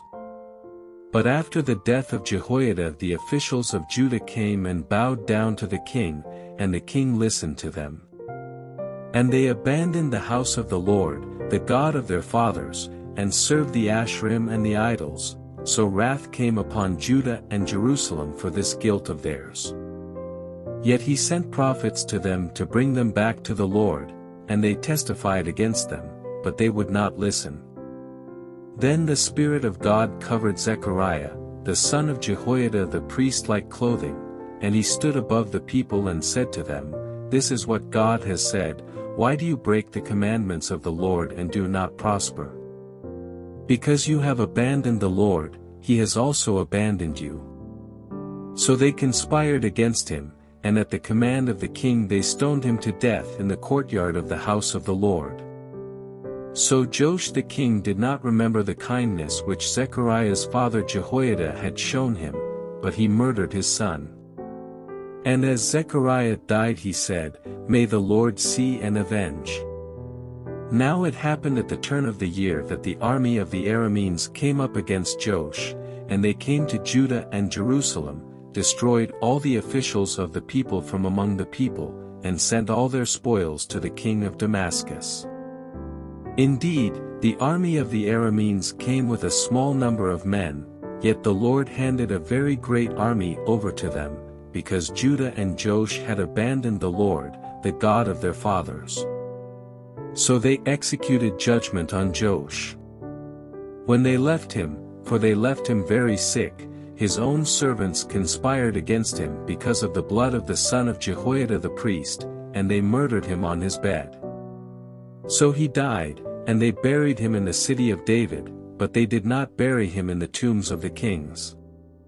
Now these are the men who conspired against him, Zabad the son of Shimeath the Ammonitess, and Jehozabad the son of Shimrith the Moabitess. As to his sons and the many pronouncements against him and the rebuilding of the house of God, behold, they are written in the treatise of the book of the kings. Then his son Amaziah became king in his place. Amaziah was 25 years old when he became king, and he reigned for 29 years in Jerusalem. And his mother's name was Jehoaddan of Jerusalem. He did what was right in the sight of the Lord, only not wholeheartedly. Now it came about, as soon as the kingdom was firmly in his grasp, that he killed his servants who had killed his father the king. However, he did not put their children to death, but did as it is written in the law in the book of Moses, which the Lord commanded, saying, Fathers shall not be put to death for sons, nor sons be put to death for fathers, but each shall be put to death for his own sin. Moreover, Amaziah assembled Judah and appointed them according to their fathers' households under commanders of thousands and commanders of hundreds throughout Judah and Benjamin, and he took a census of those from twenty years old and upward and found them to be three hundred thousand choice men, able to go to war and handle spear and shield. He also hired a hundred thousand valiant warriors from Israel for a hundred talents of silver. But a man of God came to him saying, O king, do not let the army of Israel come with you, for the Lord is not with Israel nor with any of the sons of Ephraim. But if you do go, do it, be strong for the battle, yet God will bring you down before the enemy, for God has the power to help and to bring down. Amaziah said to the man of God, But what are we to do about the hundred talents which I have given to the troops of Israel? And the man of God answered, The Lord has much more to give you than this. Then Amaziah dismissed the troops which came to him from Ephraim, to go home, so their anger burned against Judah, and they returned home in fierce anger. Now Amaziah gathered his courage and led his people out, and went to the valley of Salt, and struck and killed ten thousand of the sons of Seir. The sons of Judah also captured ten thousand alive and brought them to the top of the cliff, and threw them down from the top of the cliff so that they were all dashed to pieces. But the troops whom Amaziah sent back, those not going with him to battle, raided the cities of Judah from Samaria to Bethhoron, and struck and killed three thousand of them, and plundered a large amount of spoils. Now after Amaziah came from slaughtering the Edomites, he brought the gods of the sons of Seir and set them up as his gods. Then he bowed down before them and burned incense to them. So the anger of the Lord burned against Amaziah, and he sent him a prophet who said to him, why have you sought the gods of the people who have not saved their own people from your hand? As he was talking with him, the king said to him, Have we appointed you to be a royal counselor? Stop. Why should you be put to death? Then the prophet stopped and said, I know that God has planned to destroy you, because you have done this and have not listened to my counsel. Then Amaziah king of Judah took counsel and sent word to Joash the son of Jehoahaz the son of Jehu, the king of Israel, saying, Come, let's face each other. But Joash the king of Israel sent a reply to Amaziah king of Judah, saying, The thorn bush that was in Lebanon sent word to the cedar that was in Lebanon, saying, Give your daughter to my son in marriage. But a wild beast that was in Lebanon passed by and trampled the thorn bush. You said, Behold, you have defeated Edom. And your heart has lifted you up in boasting. Now stay home, why should you provoke trouble so that you, would fall, you and Judah with you? But Amaziah would not listen, for it was from God, so that he might hand them over to Joash, because they had sought the gods of Edom. So Joash king of Israel went up, and he and Amaziah king of Judah faced each other at Bethshemesh, which belonged to Judah. And Judah was defeated by Israel, and they fled, every man to his tent.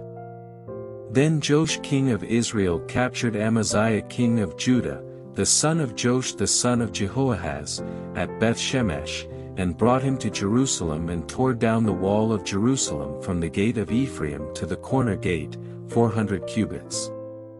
He took all the gold and silver and all the utensils which were found in the house of God with Obed-Edom, and the treasures of the king's house, the hostages too, and returned to Samaria. And Amaziah, the son of Joash king of Judah, lived fifteen years after the death of Joash, son of Jehoahaz, king of Israel. Now the rest of the acts of Amaziah, from the first to the last, behold, are they not written in the book of the kings of Judah and Israel? From the time that Amaziah turned away from following the Lord they conspired against him in Jerusalem, and he fled to Lachish, but they sent men after him to Lachish, and they killed him there. Then they brought him on horses and buried him with his fathers in the city of Judah. Now all the people of Judah took Uzziah, who was sixteen years old, and made him king in place of his father Amaziah. He built Eloth and restored it to Judah after the king lay down with his fathers. Uzziah was sixteen years old when he became king, and he reigned for fifty-two years in Jerusalem, and his mother's name was Jechiliah of Jerusalem. He did what was right in the sight of the Lord, in accordance with everything that his father Amaziah had done. He continued to seek God in the days of Zechariah, who had understanding through the vision of God, and as long as he sought the Lord, God made him successful. Now he went out and fought against the Philistines, and broke down the wall of Gath, the wall of Jabneh, and the wall of Ashdod, and he built cities in the area of Ashdod and among the Philistines. God helped him against the Philistines, and against the Arabians who lived in Gur-baal, and the Meunites. The Ammonites gave tribute to Uzziah, and his fame extended to the border of Egypt, for he became very strong. Moreover, Uzziah built towers in Jerusalem at the corner gate, the valley gate, and at the corner buttress, and he fortified them. He also built towers in the wilderness and carved out many cisterns, for he had much livestock, both in the lowland and in the plain. He also had plowmen and vinedressers in the hill country and the fertile fields, for he loved the soil. Moreover, Uzziah had an army ready for battle, which entered combat by divisions according to the number of their muster, recorded by Jeiel the scribe and Maaseiah the official, under the direction of Hananiah, one of the king's officers. The total number of the heads of the households, of valiant warriors, was 2,600. Under their direction was an army of 307,500, who could wage war with great power, to help the king against the enemy. Moreover, Uzziah prepared for all the army shields, spears, helmets, body armor, bows, and sling stones. In Jerusalem he made machines of war invented by skillful workmen to be on the towers and the corners, for the purpose of shooting arrows and great stones. So his fame spread far, for he was marvelously helped until he was strong. But when he became strong, his heart was so proud that he acted corruptly, and he was untrue to the Lord his God, for he entered the temple of the Lord to burn incense on the altar of incense. Then Azariah the priest entered after him, and with him eighty priests of the Lord, valiant men. They opposed Uzziah the king and said to him, It is not for you, Uzziah, to burn incense to the Lord, but for the priests, the sons of Aaron who have been consecrated to burn incense. Leave the sanctuary, for you have been untrue and will have no honor from the Lord God. But Uzziah, with a censer in his hand for burning incense, was enraged, and while he was enraged with the priests, leprosy broke out on his forehead in the presence of the priests in the house of the Lord, beside the altar of incense. Azariah the chief priest and all the priests looked at him, and behold, he was leprous on his forehead, and they quickly removed him from there, and he himself also hurried to get out because the Lord had stricken him. King Uzziah had leprosy to the day of his death, and he lived in a separate house, afflicted as he was with leprosy, for he was cut off from the house of the Lord. And his son Jotham was over the king's house, judging the people of the land. Now the rest of the acts of Uzziah, the first to the last, the prophet Isaiah, the son of Amoz, has written. So Uzziah lay down with his fathers, and they buried him with his fathers in the field of the grave which belonged to the kings, for they said, he had leprosy. And his son Jotham became king in his place. Jotham was 25 years old when he became king, and he reigned for 16 years in Jerusalem. And his mother's name was Jerusha the daughter of Zadok. He did what was right in the sight of the Lord, according to all that his father Uzziah had done, however he did not enter the temple of the Lord.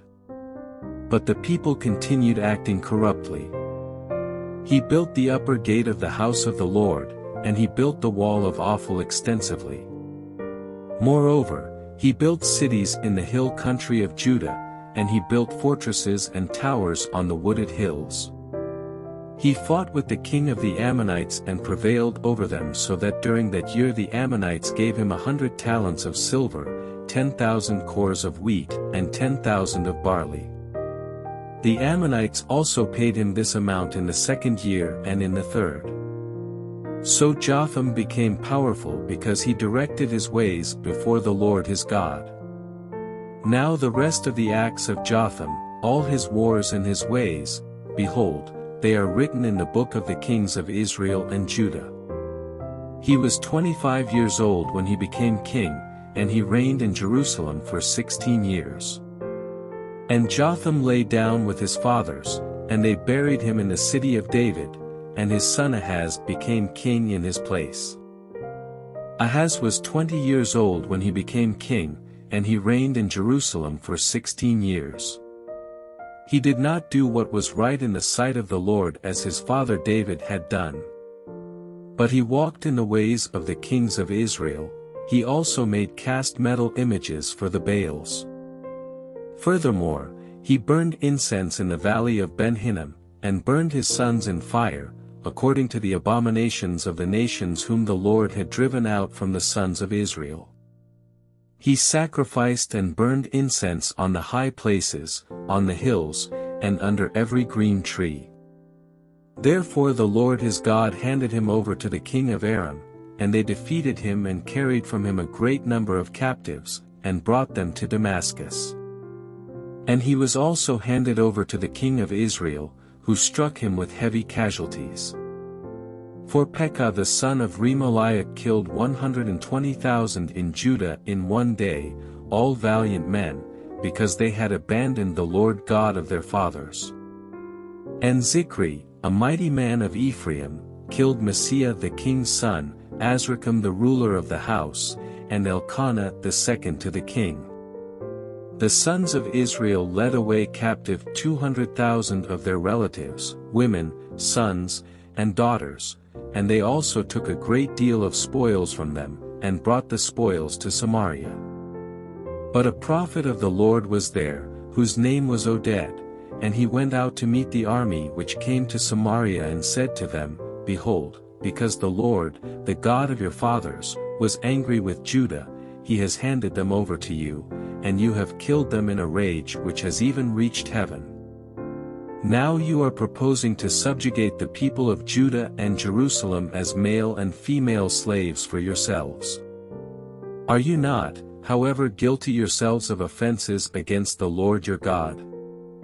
Now then, listen to me and return the captives whom you captured from your brothers, for the burning anger of the Lord is against you. Then some of the leading men of the sons of Ephraim, Azariah the son of Johanan, Berechiah the son of Meshillemoth, Jehizkiah the son of Shallum, and Amasa the son of Hadlai, rose up against those who were coming from the battle.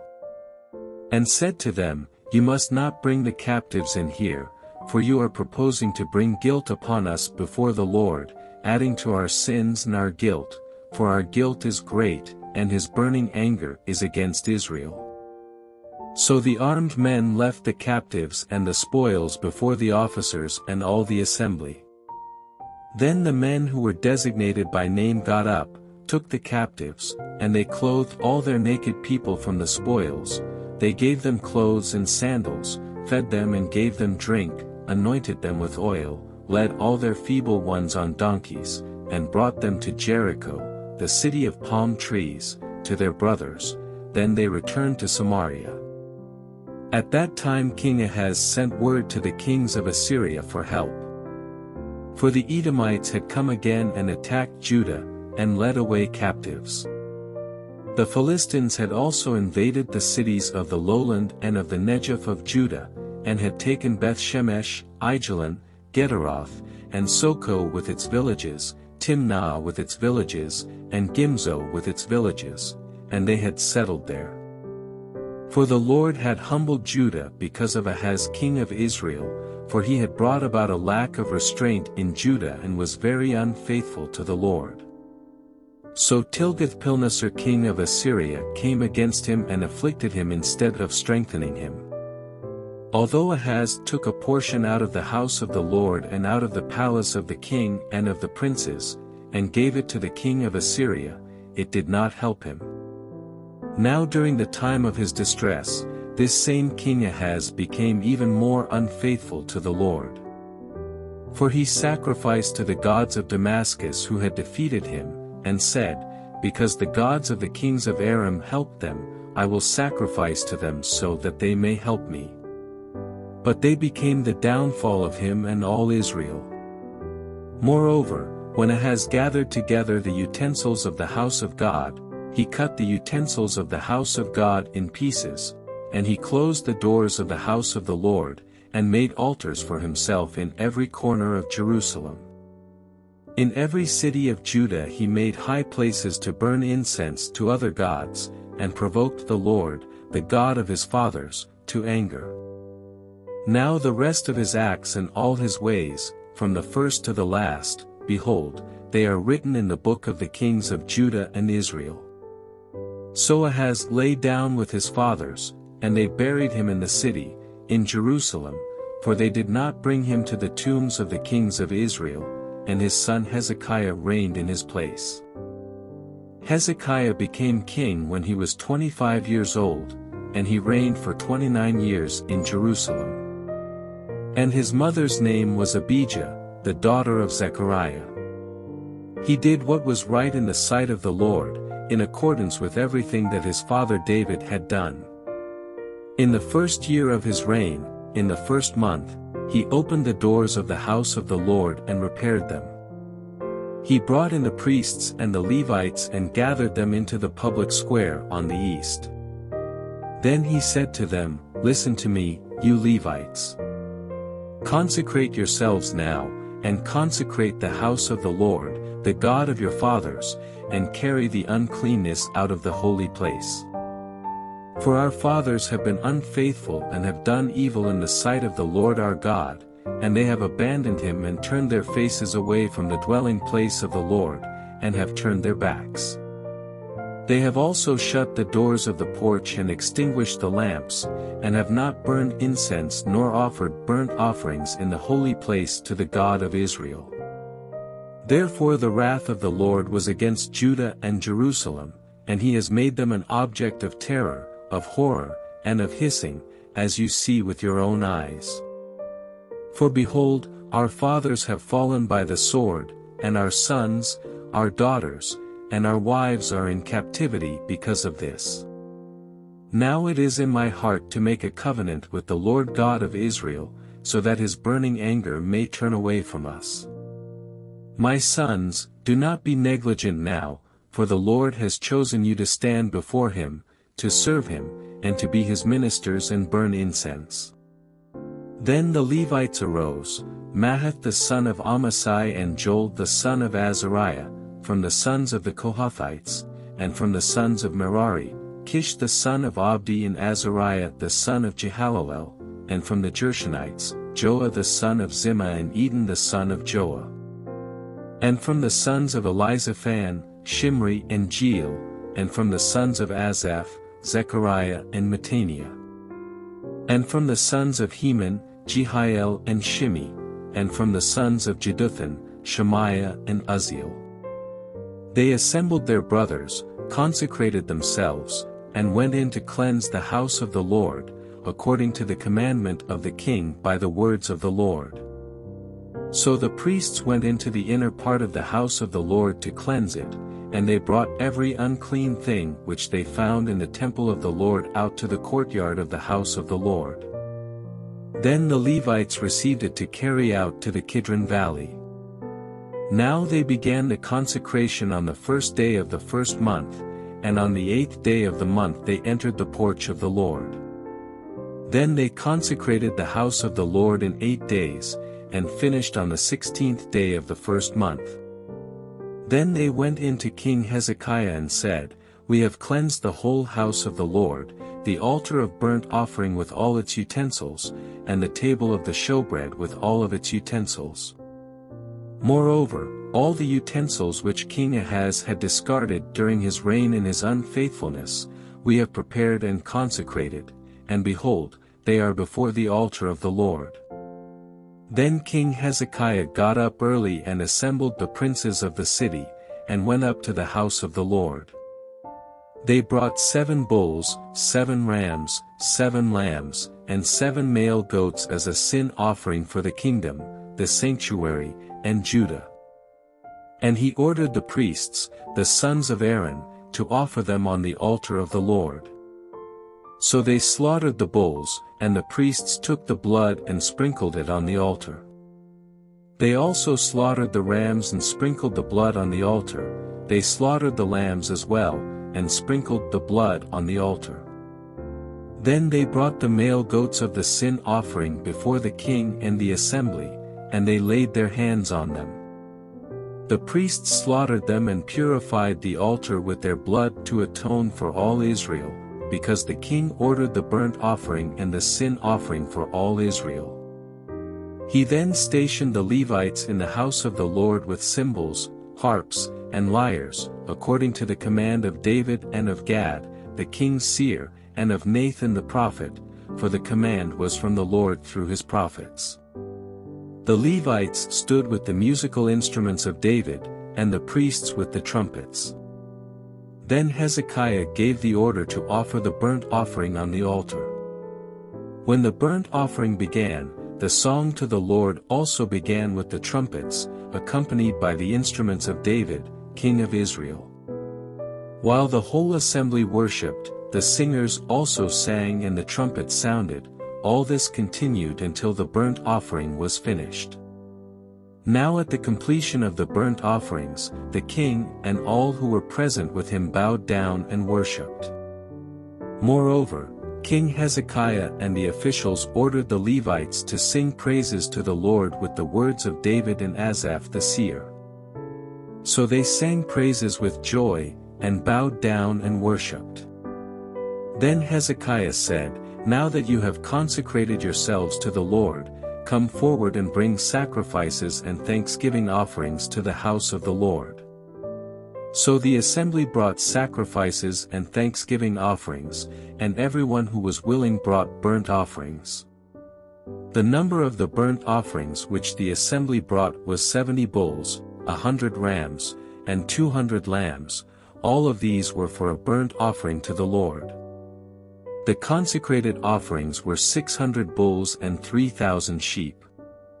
But the priests were too few, so that they were unable to skin all the burnt offerings, therefore their brothers the Levites helped them until the work was finished and the other priests had consecrated themselves.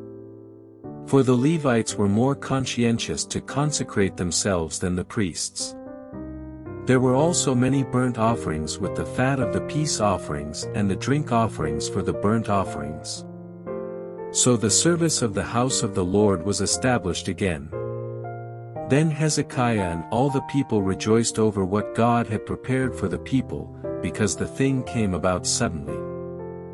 Now Hezekiah sent word to all Israel and Judah and also wrote letters to Ephraim and Manasseh, that they should come to the house of the Lord in Jerusalem to celebrate the Passover to the Lord God of Israel.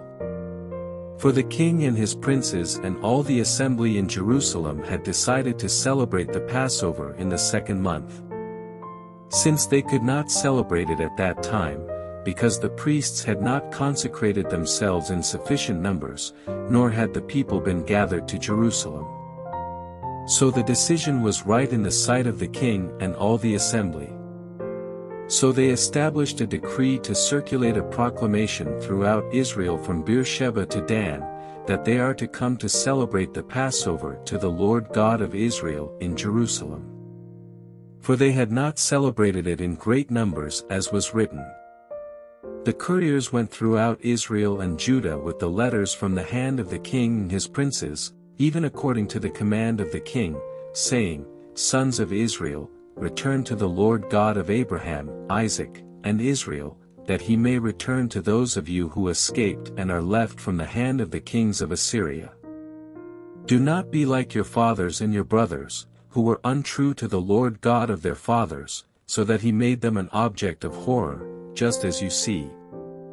Now do not stiffen your neck like your fathers, but yield to the Lord and enter his sanctuary which he has consecrated forever, and serve the Lord your God, that his burning anger may turn away from you. 9 For if you return to the Lord, your brothers and your sons will find compassion in the presence of those who led them captive, and will return to this land. For the Lord your God is gracious and compassionate, and will not turn his face away from you if you return to him. So the couriers passed from city to city through the country of Ephraim and Manasseh, and as far as Zebulun, but they laughed at them with scorn and mocked them. Nevertheless, some men of Asher, Manasseh, and Zebulun humbled themselves and came to Jerusalem. The hand of God was also on Judah to give them one heart to do what the king and the princes commanded by the word of the Lord. Now many people were gathered at Jerusalem to celebrate the feast of unleavened bread in the second month, a very large assembly. They got up and removed the altars which were in Jerusalem, they also removed all the incense altars and threw them into the brook Kidron. Then they slaughtered the Passover lambs on the fourteenth of the second month. And the priests and Levites were ashamed of themselves, and consecrated themselves and brought burnt offerings to the house of the Lord. They stood at their stations following their custom, according to the law of Moses the man of God, the priests sprinkled the blood which they received from the hand of the Levites. For there were many in the assembly who had not consecrated themselves, therefore, the Levites were in charge of the slaughter of the Passover lambs for everyone who was unclean, in order to consecrate them to the Lord. For a multitude of the people, many from Ephraim and Manasseh, and Issachar and Zebulun, had not purified themselves, yet they ate the Passover contrary to what was written. For Hezekiah prayed for them, saying, May the good Lord pardon. Everyone who prepares his heart to seek God, the Lord God of his fathers, though not according to the purification rules of the sanctuary. So the Lord heard Hezekiah and healed the people. The sons of Israel present in Jerusalem celebrated the feast of unleavened bread for seven days with great joy, and the Levites and the priests were praising the Lord day after day with loud instruments to the Lord. Then Hezekiah spoke encouragingly to all the Levites who showed good insight in the things of the Lord.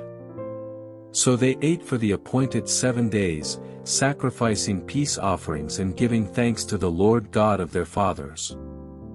Then the whole assembly decided to celebrate the feast another seven days, so they celebrated the seven days with joy. For Hezekiah king of Judah had contributed to the assembly a thousand bulls and seven thousand sheep, and the princes had contributed to the assembly a thousand bulls and ten thousand sheep, and a large number of priests consecrated themselves. All the assembly of Judah rejoiced, with the priests and the Levites and all the assembly that came from Israel, both the strangers who came from the land of Israel and those living in Judah. So there was great joy in Jerusalem, because there was nothing like this in Jerusalem since the days of Solomon the son of David, king of Israel. Then the Levitical priests stood and blessed the people, and their voice was heard and their prayer came to his holy dwelling place, to heaven.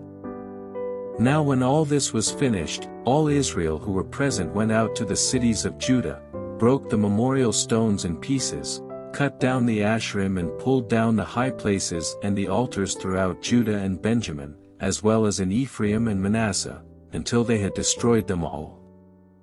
Then all the sons of Israel returned to their cities, each to his possession.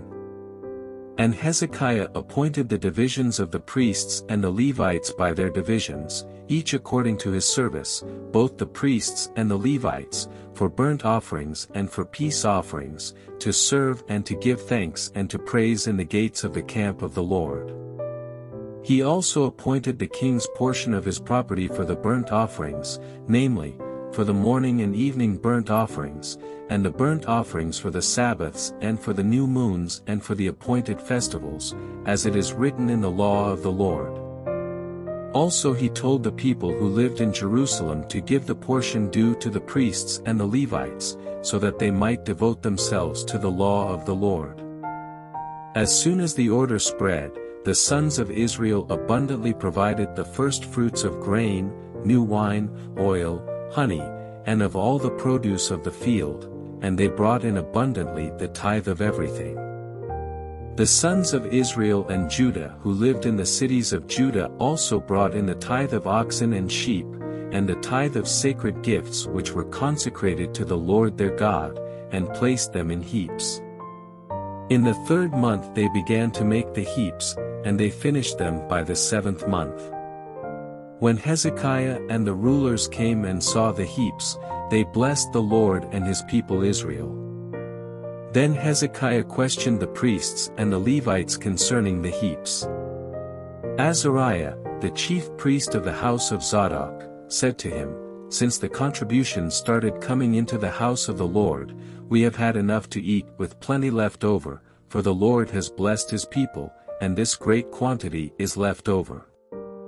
Then Hezekiah commanded them to prepare rooms in the house of the Lord, and they prepared them. They faithfully brought in the contributions, the tithes, and the consecrated things, and Conaniah the Levite was the officer in charge of them, and his brother Shimei was second.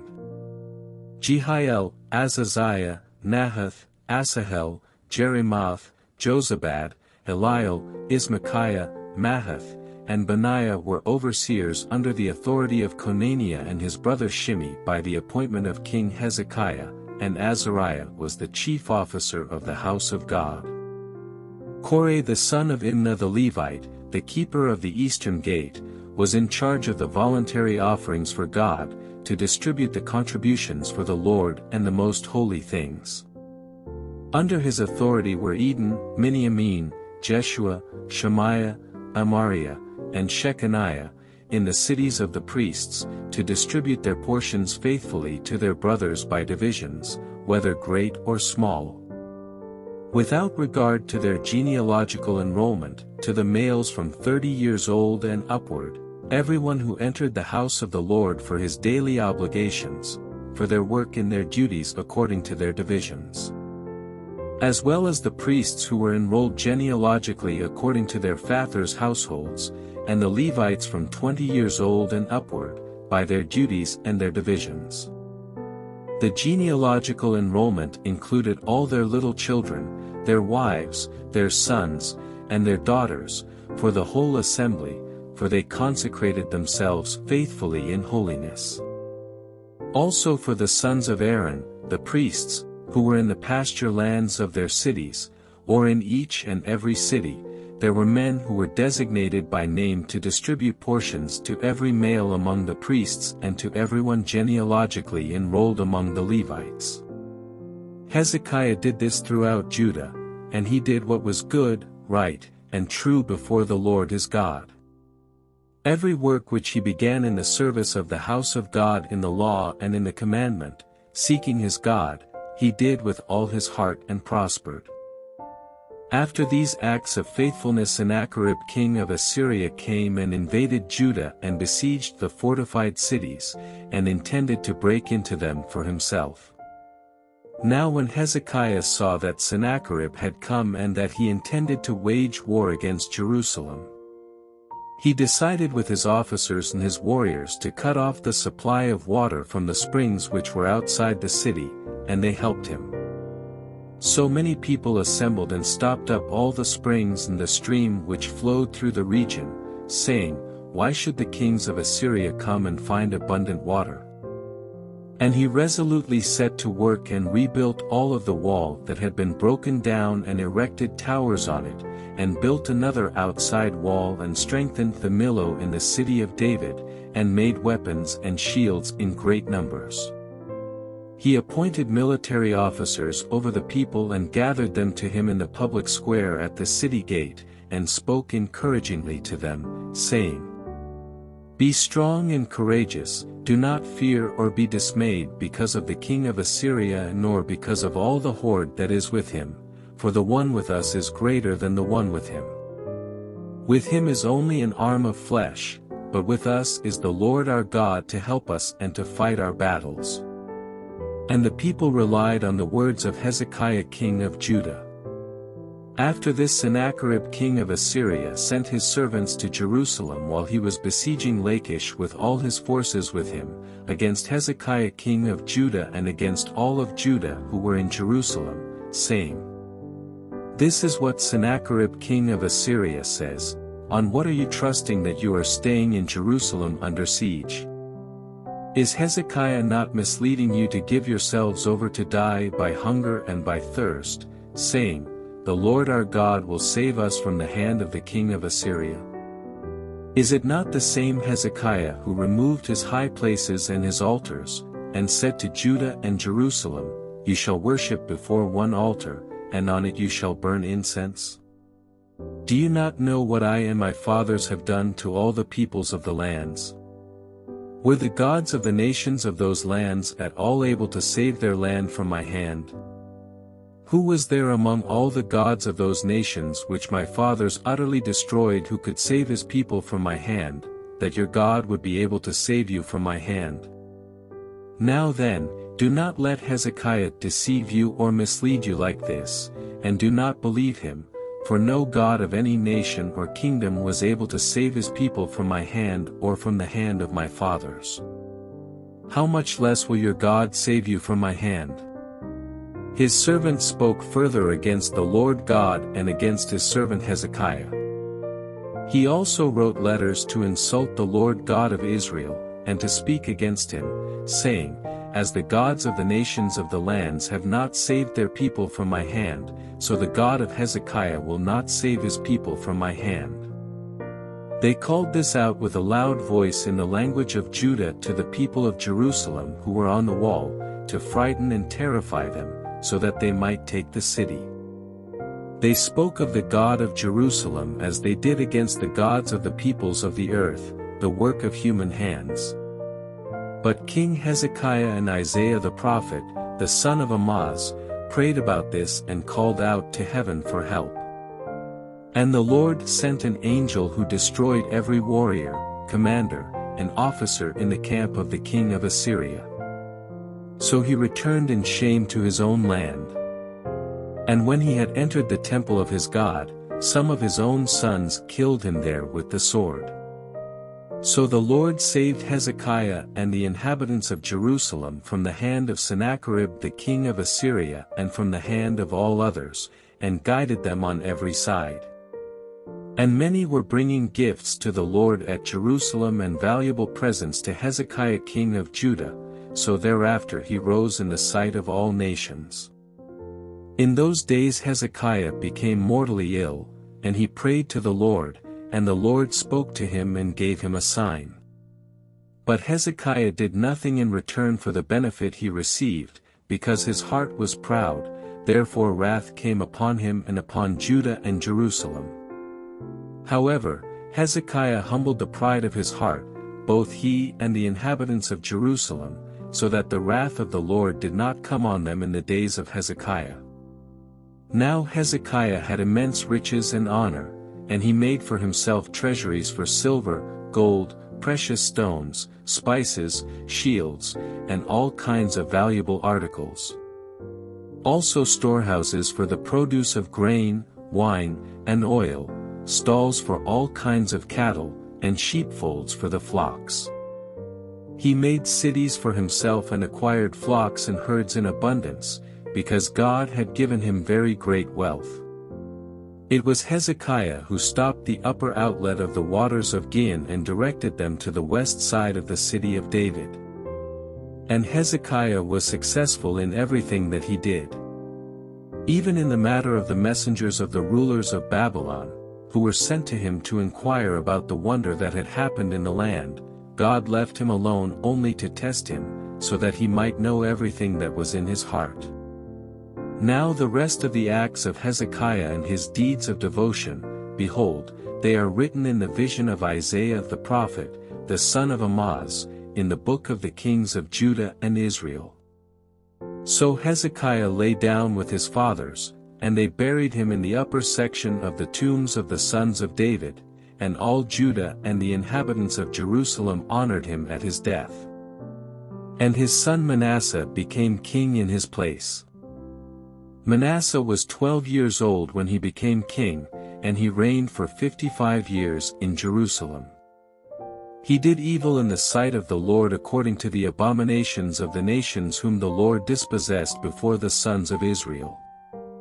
For he rebuilt the high places which his father Hezekiah had torn down, he also set up altars for the Baals and made Asherim, and he worshipped all the heavenly lights and served them. He built altars in the house of the Lord of which the Lord had said, My name shall be in Jerusalem forever. He built altars for all the heavenly lights in the two courtyards of the house of the Lord. He also made his sons pass through the fire in the valley of Ben Hinnom, and he practiced witchcraft, used divination, practiced sorcery, and dealt with mediums and spiritists. He did much evil in the sight of the Lord, provoking him to anger. Then he put the carved image of the idol which he had made in the house of God, of which God had said to David and his son Solomon, In this house and in Jerusalem, which I have chosen from all the tribes of Israel, I will put my name forever. And I will not remove the foot of Israel again from the land which I have appointed for your fathers, if only they will take care to do everything that I have commanded them according to all the law, the statutes, and the ordinances given through Moses. So Manasseh encouraged Judah and the inhabitants of Jerusalem to do more evil than the nations whom the Lord destroyed before the sons of Israel. So the Lord spoke to Manasseh and his people, but they paid no attention. 11 Therefore the Lord brought the commanders of the army of the king of Assyria against them, and they captured Manasseh with hooks, bound him with bronze chains, and led him to Babylon. When he was in distress, he appeased the Lord his God and humbled himself greatly before the God of his fathers. When he prayed to him, he was moved by him and heard his pleading, and brought him back to Jerusalem to his kingdom. Then Manasseh knew that the Lord alone is God. Now after this he built the outer wall of the city of David on the west side of Gihon, in the valley, up to the entrance of the fish gate, and he encircled the Ophel with it and made it very high. Then he put army commanders in all the fortified cities in Judah. He also removed the foreign gods and the idol from the house of the Lord, as well as all the altars which he had built on the mountain of the house of the Lord and in Jerusalem, and he threw them outside the city. He set up the altar of the Lord and sacrificed peace offerings and thanksgiving offerings on it, and he ordered Judah to serve the Lord God of Israel. However, the people still sacrificed on the high places, although only to the Lord their God. Now the rest of the acts of Manasseh and his prayer to his God, and the words of the seers who spoke to him in the name of the Lord God of Israel, behold, they are among the records of the kings of Israel. His prayer also and how God was moved by him, and all his sin, his unfaithfulness, and the sites on which he built high places and erected the Asherim and the carved images, before he humbled himself, behold, they are written in the records of Hozai. So Manasseh lay down with his fathers, and they buried him in his own house. And his son Amon became king in his place. Amon was 22 years old when he became king, and he reigned for two years in Jerusalem. He did evil in the sight of the Lord, just as his father Manasseh had done, and Amon sacrificed to all the carved images which his father Manasseh had made, and he served them. Furthermore, he did not humble himself before the Lord as his father Manasseh had done, but Amon multiplied his guilt. Finally, his servants conspired against him and put him to death in his own house. But the people of the land killed all the conspirators against King Amon, and the people of the land made his son Josiah king in his place. Josiah was eight years old when he became king, and he reigned for thirty-one years in Jerusalem. He did what was right in the sight of the Lord, and walked in the ways of his father David and did not turn aside to the right or the left. For in the eighth year of his reign while he was still a youth, he began to seek the God of his father David, and in the twelfth year he began to purge Judah and Jerusalem of the high places, the Asherim, the carved images, and the cast metal images.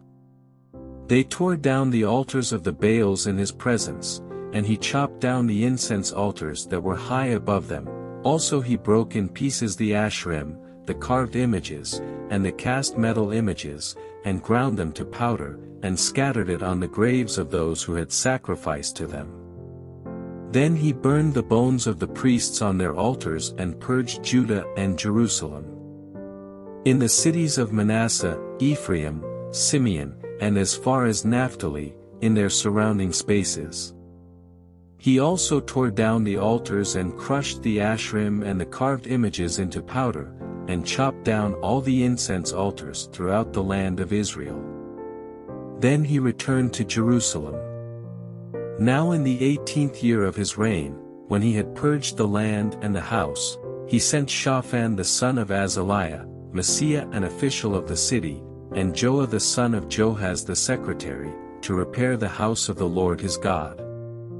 They came to Hilkiah the high priest and gave him the money that was brought into the house of God, which the Levites, the doorkeepers, had collected from Manasseh and Ephraim, and from all the remnant of Israel, from all Judah and Benjamin and the inhabitants of Jerusalem. Then they handed it over to the workmen who had the oversight of the house of the Lord, and the workmen who were working in the house of the Lord used it to restore and repair the house.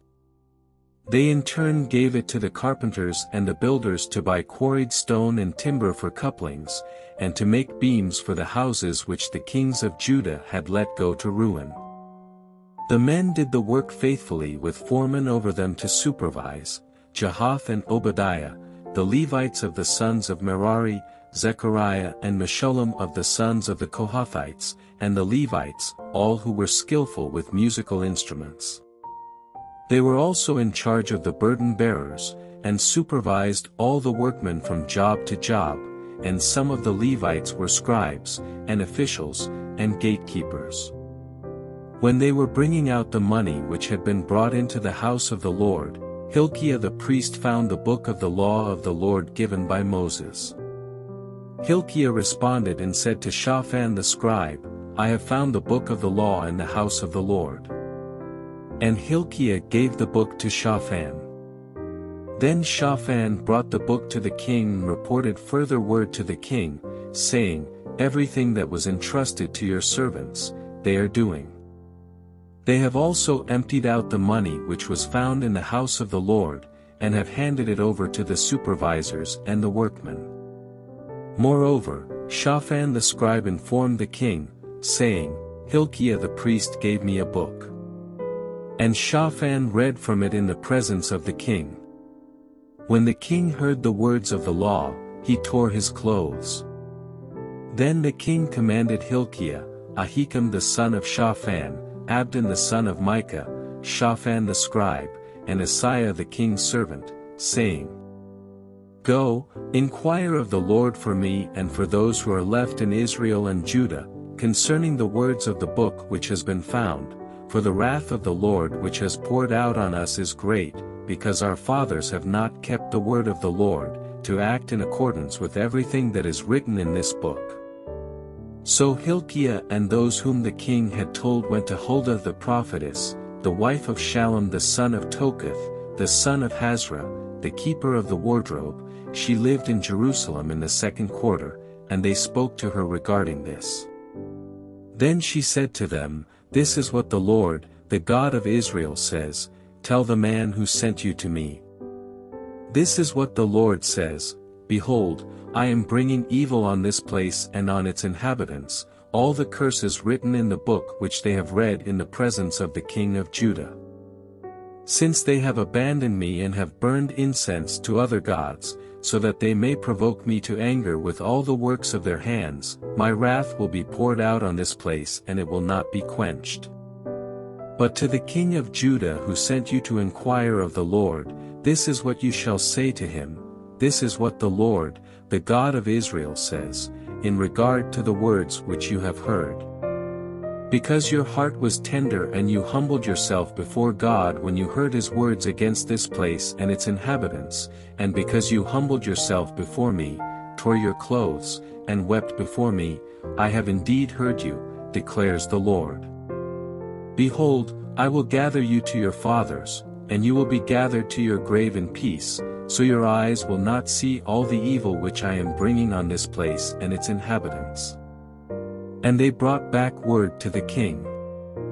Then the king sent word and gathered all the elders of Judah and Jerusalem.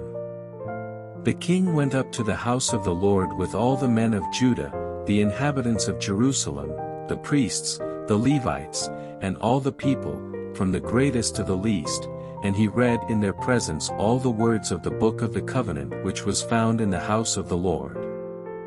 Then the king stood in his place and made a covenant before the Lord to walk after the Lord, and to keep his commandments, his testimonies, and his statutes with all his heart and with all his soul, to perform the words of the covenant that are written in this book. Furthermore, he made all who were present in Jerusalem and Benjamin stand with him. So the inhabitants of Jerusalem acted in accordance with the covenant of God, the God of their fathers. Josiah removed all the abominations from all the lands belonging to the sons of Israel, and made all who were present in Israel serve the Lord their God.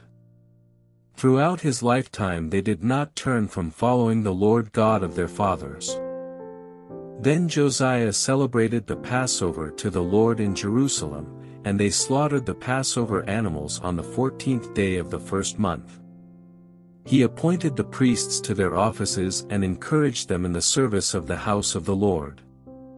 He also said to the Levites who taught all Israel and who were holy to the Lord, Put the holy ark in the house which Solomon the son of David king of Israel built, it will not be a burden on your shoulders. Now serve the Lord your God and his people Israel. Prepare yourselves by your fathers' households in your divisions, according to the writing of David king of Israel and according to the writing of his son Solomon. Furthermore, stand in the holy place according to the sections of the fathers' households of your countrymen, the lay people, and according to the Levites, by division of a father's household. Now slaughter the Passover animals, keep one another consecrated, and prepare for your countrymen to act in accordance with the word of the Lord by Moses. Josiah contributed to the lay people, to all who were present, flocks of lambs and young goats, all for the Passover offerings, numbering 30,000, plus 3,000 bulls, these were from the king's property. His officers also contributed a voluntary offering to the people, the priests, and the Levites. Hilkiah, Zechariah, and Jehiel, the officials of the house of God, gave the priests 2,600 from the flocks and 300 bulls, for the Passover offerings. Conaniah also, and his brothers Shemaiah and Nethanel, and Hashabiah and Jeiel and Jozabad, the officers of the Levites, contributed 5,000 from the flocks and 500 bulls to the Levites for the Passover offerings. So the service was prepared, and the priests stood at their positions and the Levites by their divisions according to the king's command. They slaughtered the Passover animals, and while the priests sprinkled the blood received from their hand, the Levites skinned the animals. Then they removed the burnt offerings so that they might give them to the sections of the fathers' households of the lay people to present to the Lord, as it is written in the book of Moses. They did this with the bulls as well. So they roasted the Passover animals on the fire according to the ordinance, and they boiled the holy things in pots, in kettles, and in pans and carried them quickly to all the lay people. Afterward they prepared for themselves and for the priests, because the priests, the sons of Aaron, were offering the burnt offerings and the fat until night, so the Levites prepared for themselves and for the priests, the sons of Aaron. The singers, the sons of Asaph, were also at their positions according to the command of David, Asaph, Heman, and Jeduthun the king's seer, and the gatekeepers at each gate did not have to leave their service, because their kinsmen the Levites prepared for them. So all the service of the Lord was prepared on that day to celebrate the Passover, and to offer burnt offerings on the altar of the Lord according to the command of King Josiah. And the sons of Israel who were present celebrated the Passover at that time, and the feast of unleavened bread for seven days. There had not been a Passover celebrated like it in Israel since the days of Samuel the prophet, nor had any of the kings of Israel celebrated such a Passover as Josiah did with the priests, the Levites, all Judah and Israel who were present, and the inhabitants of Jerusalem. In the eighteenth year of Josiah's reign this Passover was celebrated. After all this, when Josiah had set the temple in order, Necho king of Egypt came up to wage war at Carchemish on the Euphrates, and Josiah went out to engage him.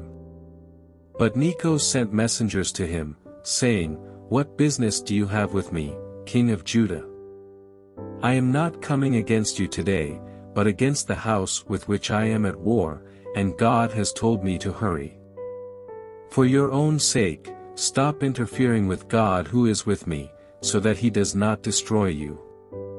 However, Josiah would not turn away from him, but disguised himself in order to fight against him, nor did he listen to the words of Necho from the mouth of God, but he came to wage war on the plain of Megiddo. The archers shot King Josiah, and the king said to his servants, Take me away, for I am badly wounded. So his servants took him out of the chariot and carried him on the second chariot which he had, and brought him to Jerusalem where he died and was buried in the tombs of his fathers. All Judah and Jerusalem mourned for Josiah. Then Jeremiah chanted a song of mourning for Josiah. And all the male and female singers speak about Josiah in their songs of mourning to this day. And they made them an ordinance in Israel, behold, they are also written in the Lamentations. Now the rest of the acts of Josiah and his deeds of devotion as written in the law of the Lord. And his acts, the first to the last, behold, they are written in the book of the kings of Israel and Judah. Then the people of the land took Joahaz the son of Josiah and made him king in place of his father in Jerusalem. Joahaz was 23 years old when he became king, and he reigned for three months in Jerusalem. Then the king of Egypt deposed him in Jerusalem, and imposed a fine on the land of a hundred talents of silver and one talent of gold. The king of Egypt made Joahaz's brother Eliakim king over Judah and Jerusalem, and changed his name to Jehoiakim. But Necho took his brother Joahaz and brought him to Egypt. Jehoiakim was 25 years old when he became king, and he reigned for eleven years in Jerusalem, and he did evil in the sight of the Lord his God. 6 Nebuchadnezzar king of Babylon came up against him and bound him with bronze chains to take him to Babylon. Nebuchadnezzar also brought some of the articles of the house of the Lord to Babylon, and he put them in his temple in Babylon.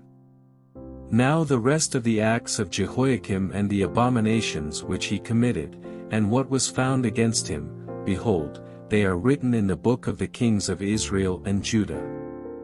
And his son Jehoiachin became king in his place.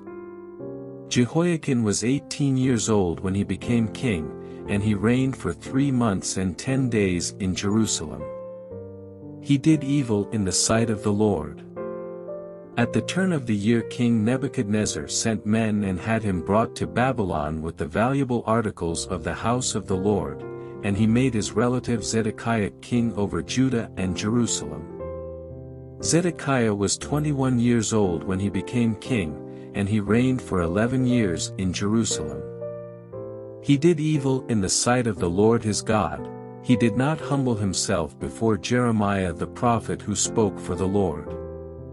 He also rebelled against King Nebuchadnezzar, who had made him swear allegiance by God. But he stiffened his neck and hardened his heart against turning to the Lord God of Israel. Furthermore, all the officials of the priests and the people were very unfaithful, following all the abominations of the nations, and they defiled the house of the Lord which he had sanctified in Jerusalem. Yet the Lord, the God of their fathers, sent word to them again and again by his messengers, because he had compassion on his people and on his dwelling place. But they continually mocked the messengers of God, despised his words, and scoffed at his prophets, until the wrath of the Lord rose against his people, until there was no remedy. So he brought up against them the king of the Chaldeans, who killed their young men with the sword in the house of their sanctuary, and had no compassion on young man or virgin, old man or frail, he handed them all over to him. He brought all the articles of the house of God, great and small, and the treasures of the house of the Lord, and the treasures of the king and his officers, to Babylon. 19 Then they burned the house of God and broke down the wall of Jerusalem, and burned all its fortified buildings with fire and destroyed all its valuable articles. He took into exile those who had escaped from the sword to Babylon, and they were servants to him and to his sons until the rule of the kingdom of Persia. To fulfill the word of the Lord by the mouth of Jeremiah, until the land had enjoyed its Sabbaths. All the days of its desolation it kept the Sabbath until seventy years were complete. Now in the first year of Cyrus king of Persia, in order to fulfill the word of the Lord by the mouth of Jeremiah, the Lord stirred up the spirit of Cyrus king of Persia so that he sent a proclamation throughout his kingdom, and also put it in writing, saying, This is what Cyrus king of Persia says, The Lord, the God of heaven, has given me all the kingdoms of the earth, and he has appointed me to build him a house in Jerusalem, which is in Judah. Whoever there is among you of all his people, may the Lord his God be with him, go up then,